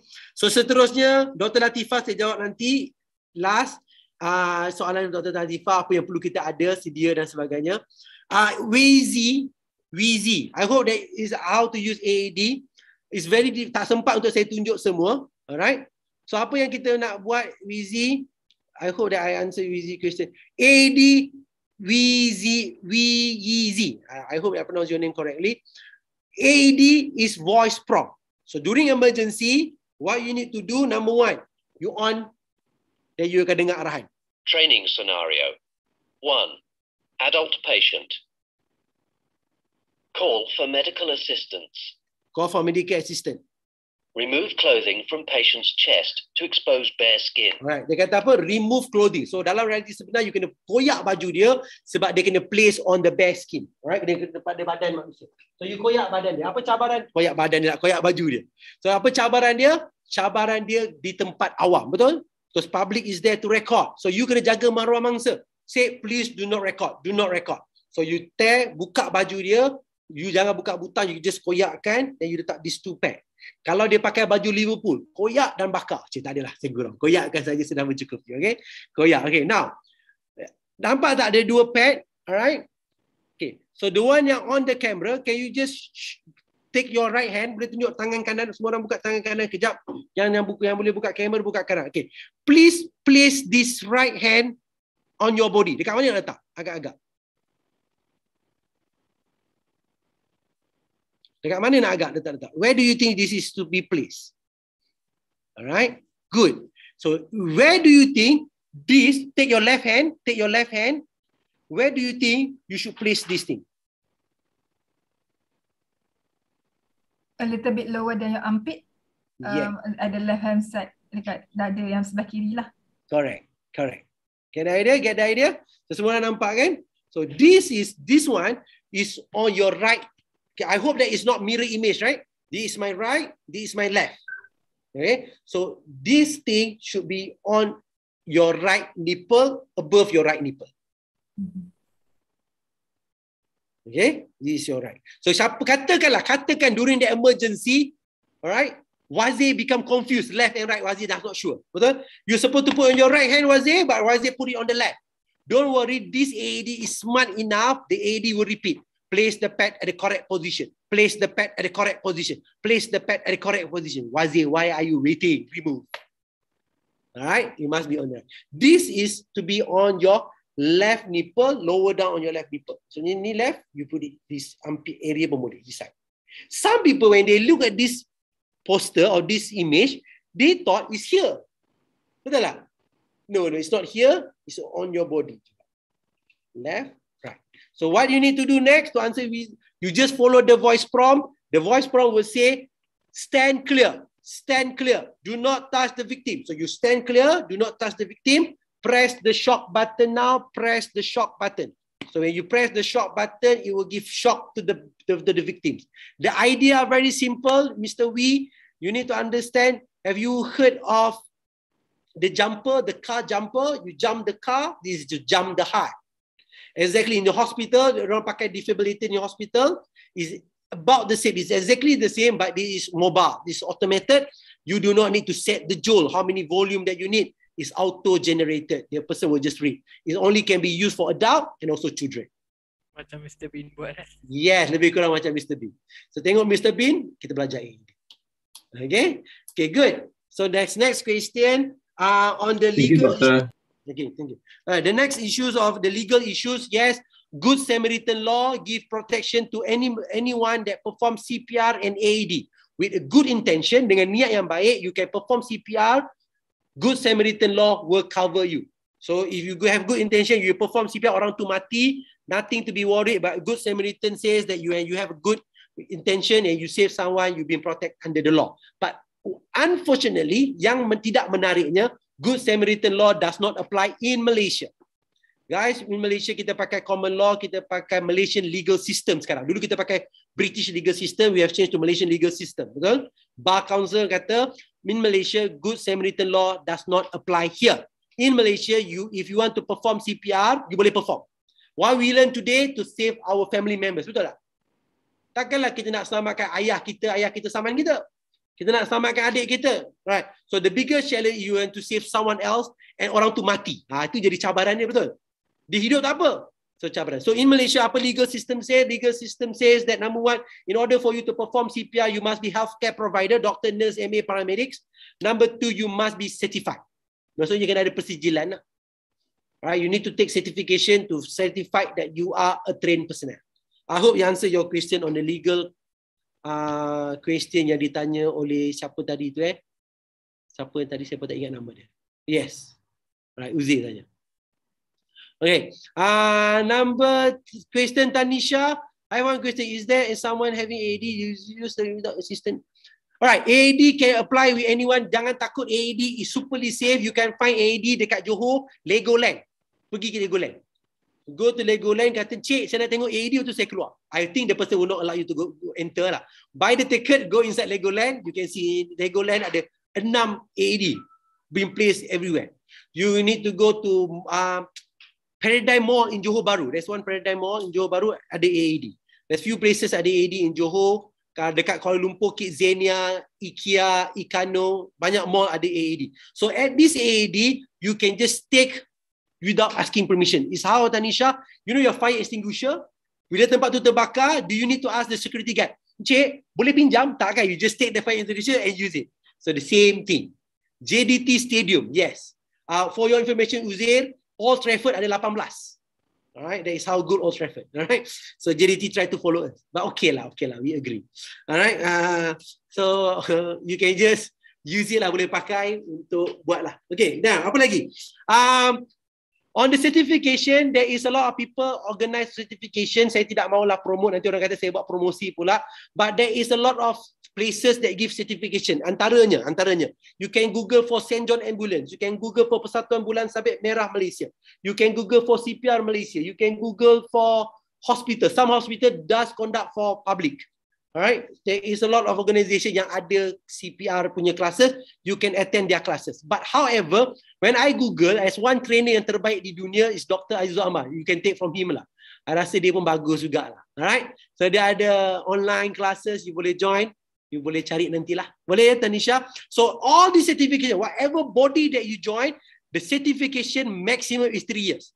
After three years, is you need to renew. tak ada certification yang memberi sepanjang hidup, sepanjang tahun. No. After three years, you kena renew. After you kena renew because there's always updates. Number two, they want to make sure that you always remember. I hope you answer your question. Sebelum saya akhiri, soalan terakhir, saya minta maaf tuan-tuan, puan-puan yang semua sebab kita dah drag waktu. Empat setengah patutnya habis. Closing, saya minta maaf kepada Prof yang terpaksa menunggu. Ah, okay, last kali uh, Dr. Latifah tanya, macam mana everyone need to make sure that they competent. Dalam CPR, how you make sure that you are fit how you make sure that you berani buat betul tak? Alright i think that's a relevant question. Okay now everyone need to understand satu perkara. Kalau you tak buat dia mati. Ha macam mana? Okay okay. Now i need to understand. Kita perform CPR kepada siapa? We perform CPR to the person is unconscious no breathing no pulse So a lot of people scared to perform CPR because they always scared. No, no, no, don't perform CPR. Nanti you tekan dia mati. Do not don't don't start CPR a lot of people scared when they start CPR, when they perform CPR and the person tak dapat diselamatkan, you cannot, you, the person cannot revive. A lot of people think because of you, you start CPR, you kill the person. No, no, no, it's a wrong concept. The concept now, the person is already dead. Why? Because unconscious, no breathing, no pulse. So the person is already dead. But the, the concept now is clinical death. If you do not do anything, like Dr. Latifah, what happened to the person? The person is confirmed dead. But now, if the person is unconscious, no breathing, no pulse, Dr. Latifah, try and start CPR. Is there a possibility dia hidup? 50-50. It's not 100%, but there is a chance. Betul? Dr. Latifah, try, try, try, try, try, hidup. Dr. Latifah, hero of the day. Tapi katakan try, try, try, try, dia mati. We cannot blame Dr. Latifah. Dr. Latifah, kamulah punca. Tak, no, get idea? Get idea? So the person is already dead. So now I want everyone to understand this.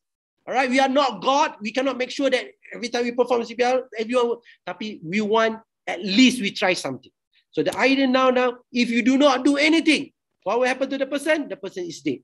So you need to do something. So Dr. Latifah punya question, what you need to do, number one, you need to understand that you are the final, is the final try. Do not underestimate yourself. Guys, Contohlah, contoh. Dr. Latifah, you be able to carry Encik Syafi'i? Contohlah. Bolehkah angkat Encik Syafi'i? Ah, mana larat? Contohlah kan. Berat ni. Contoh, contoh. Tapi, tapi trust me, during emergency, she will be able to carry Encik Syafi'i lari satu padang.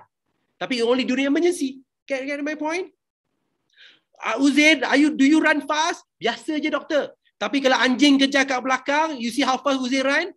100 meter champion, betul? So the idea which I'm going to end today class you always remember whenever you can, whenever you can, you need to say you must. Whenever you must, you can. Okay? Katakan jatuh itu mak kita. Kita tak tahu macam mana nak buat CPR. Kita tak yakin buat CPR tapi kita mesti buat dan kita pasti mampu buat. Itu sahaja daripada saya. I hope that everyone was enjoy the class. I hope everyone agree. Cik Safwan ada soalan terakhir. Silakan, silakan Safwan. Ah, uh, doctor, doctor, uh, you forgot about the five basic rules. Oh, five one. Okay, last, last one. one. Okay, last, last. Number one, semua orang belajar untuk selamatkan ahli keluarga. Number two, alright, CPR itu mudah. Number three, kia, semua orang kena ingat. I will remember, I will remember. Number four, saya berani. Number five, I need you to help me to do the campaign of satu rumah satu terakhir. Ini sebenarnya permintaan terakhir saya. The only way for you to make sure that this thing works saya nak Safwan bantu cari kawan lain yang belum belajar untuk belajar. Untuk orang lain belajar dan belajar. My idea, kenapa saya nak, why I need 100,000 to be trained CPR every year? The idea which I always have like this. Maybe, I do not wish and pray lah kan. Maybe, one of my student is the one that save me during emergency later. Faham tak? Mana tahu-tahu orang yang Safwan ajak, tiba-tiba ilmu tu dia pakai pada Safwan. Okay, now I'll give you one scenario. If you go to JDT Stadium, contohlah JDT Stadium, right? You are watching football match, on the way you keluarkan bola kan, tiba-tiba hari tu kalah lah bola. JDT kalah dengan Selangor, contohlah. Selangor kan power, contoh, contoh. Alright, saya tahu saya tahu nanti kena kick daripada sini. contohlah kan, you kalah bola, pop, you dapat heart attack. My question now, you jatuh dekat depan that stadium. How many people attended that, that, that football match? 50,000. But do you think how many percentage someone will perform CPR on you? Saya tak tahu. Get, get my point? You pergi Giant, You pergi Giant tiba you collapse. You pergi Tesco, tak ada Tesco, apa? Lotus. You pergi Lotus, you pergi Giant, you pergi mana-mana, you collapse dekat tempat awam. Guys, get the idea. How many percent you think orang akan bantu? Tapi kalau ada kesedaran, so the fifth one, if everyone can help me, saya ucapkan ribuan terima kasih kepada Encik Syafi, kepada Dr. Latifah because they are my former student. Lepas tu diorang ajaklah orang yang buat, nampak tak? So lebih, bila lebih kita ajak, lebih ramai kita ajak, the idea now when we go out there, sebab CPR tidak boleh dipakai untuk diri sendiri. Guys, this knowledge cannot be used to yourself. If you collapse, two, three, tak boleh. You collapse, you need to make sure that you perform someone CPR to someone else. Itu saja. Boleh ke? Okay, terima kasih semua. So uh, sepanjang kelas ini, I am very sorry if I say something yang terluka, terkasar bahasa or anything. I'm trying to make sure that the class is lively supaya semua orang faham. Waktu-waktu yang diberi saya ni adalah waktu mencabar. Encik Syafi ni waktu tidur ni. Alright. Tapi saya rasa dah yakin semua orang dengar dengan baik. Right? Saya hope that everyone understand the class and I hope ilmu ini saya harap tidak perlu digunakan. Kalau boleh lah kan, apa kita nak jumpa dalam senario ni. Tetapi sekiranya dia perlu digunakan, I hope dia memberi manfaat kepada semua. Kepada semua pelajar di sini, I hope and pray that kalau jatuh itu bukan agama kita, bukan bangsa kita, bukan keturunan kita. Help every single one. Do not choose whatever religion they are, whatever race they are, whatever whatever belief they are, alright? Kalaupun dia tidak menyokong Manchester United, we still perform CPR. Right? Berjiwa besar, bantulah sesiapa saja atas nama manusia. Nas. Itu saja. Thank you everyone. Assalamualaikum. Saya seberah semula kepada host. Terima kasih kepada Dr. Azizul Amar atas perkongsian yang menarik dan bermanfaat sebentar tadi. So diminta para penyokong Manchester United jenguk-jenguklah kelab yang berada di tangga teratas EPL buat masa ni.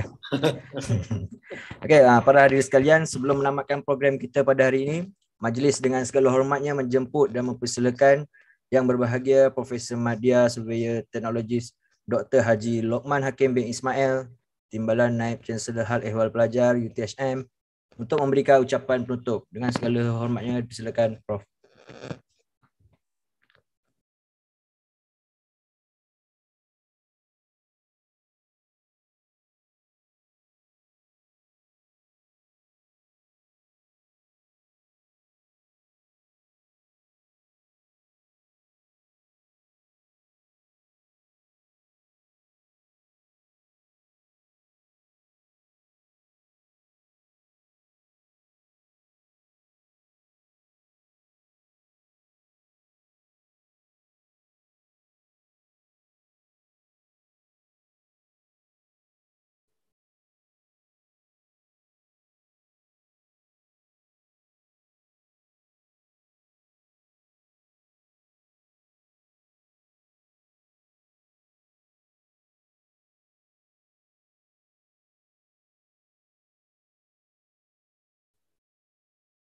Uh, Zul, perhaps you should unmute.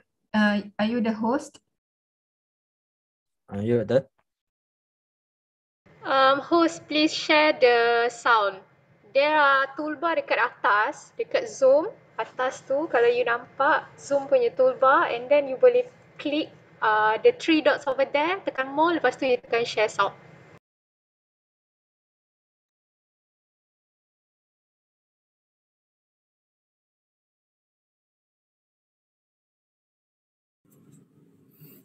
Bismillahirrahmanirrahim. Assalamualaikum warahmatullahi taala wabarakatuh dan salam sejahtera.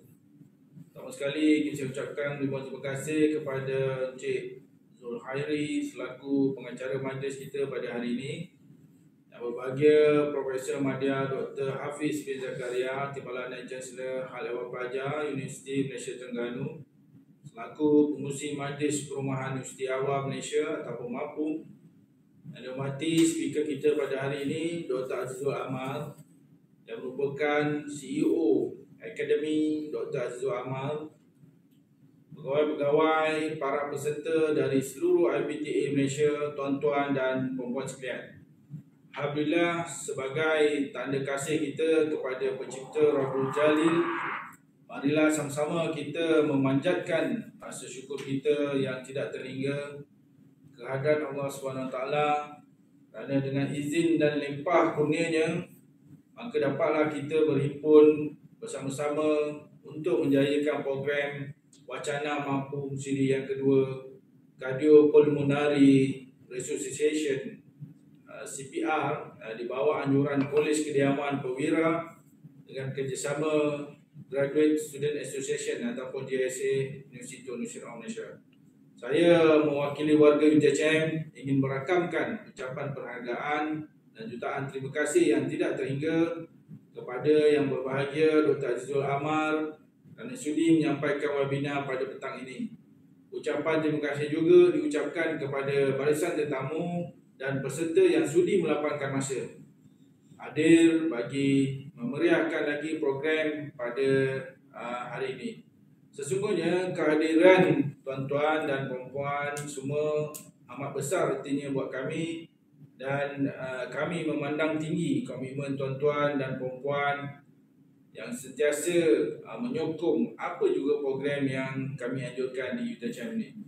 Saya juga mengambil kesempatan ini uh, untuk mengucapkan selamat datang kepada semua pelajar selaku wakil dari Kolej-Kolej Kediaman Pelajar dan pemimpin pelajar dari IPT uh, yang saya faham ialah daripada semua UA di Malaysia ada daripada UPM, URA, UKM, UMK, Unimas dan semua sekali lah OC ya.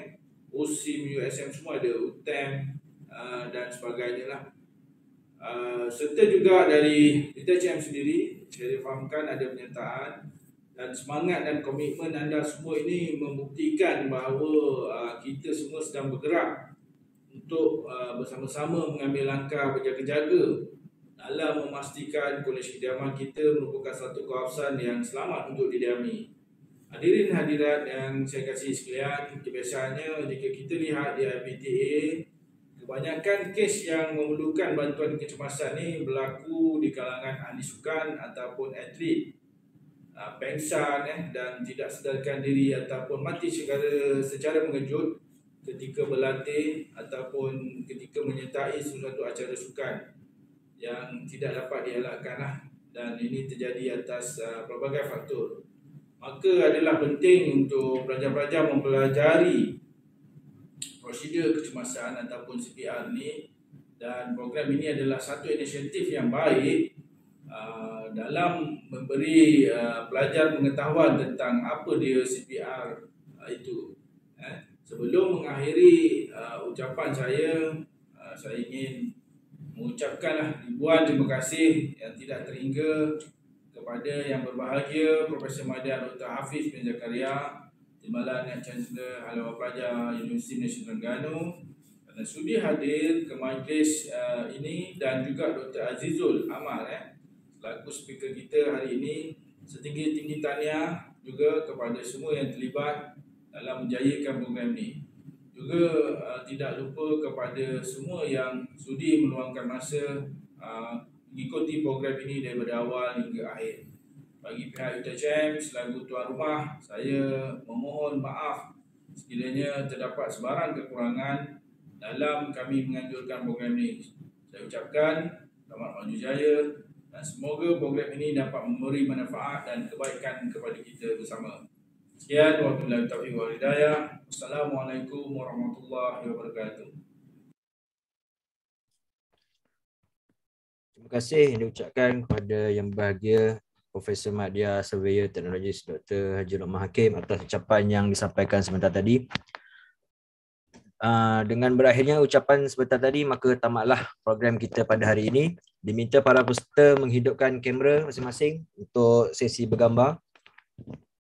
Uh, okay. Sementara itu nak dimaklumkan kepada semua peserta bahawa rekod kehadiran boleh diisi melalui link yang telah disertakan di ruangan komen dan sijil penyertaan akan dihantar melalui email yang diterima oleh pihak penganjur.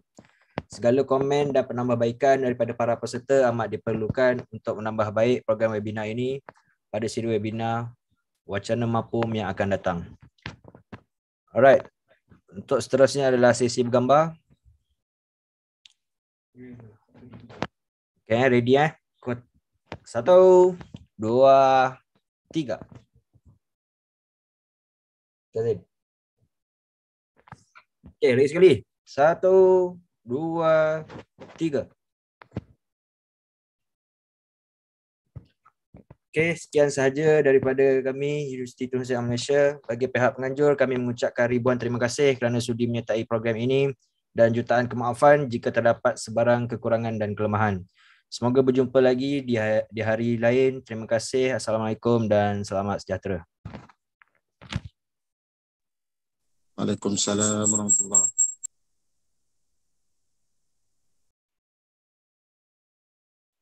Okay, terima kasih.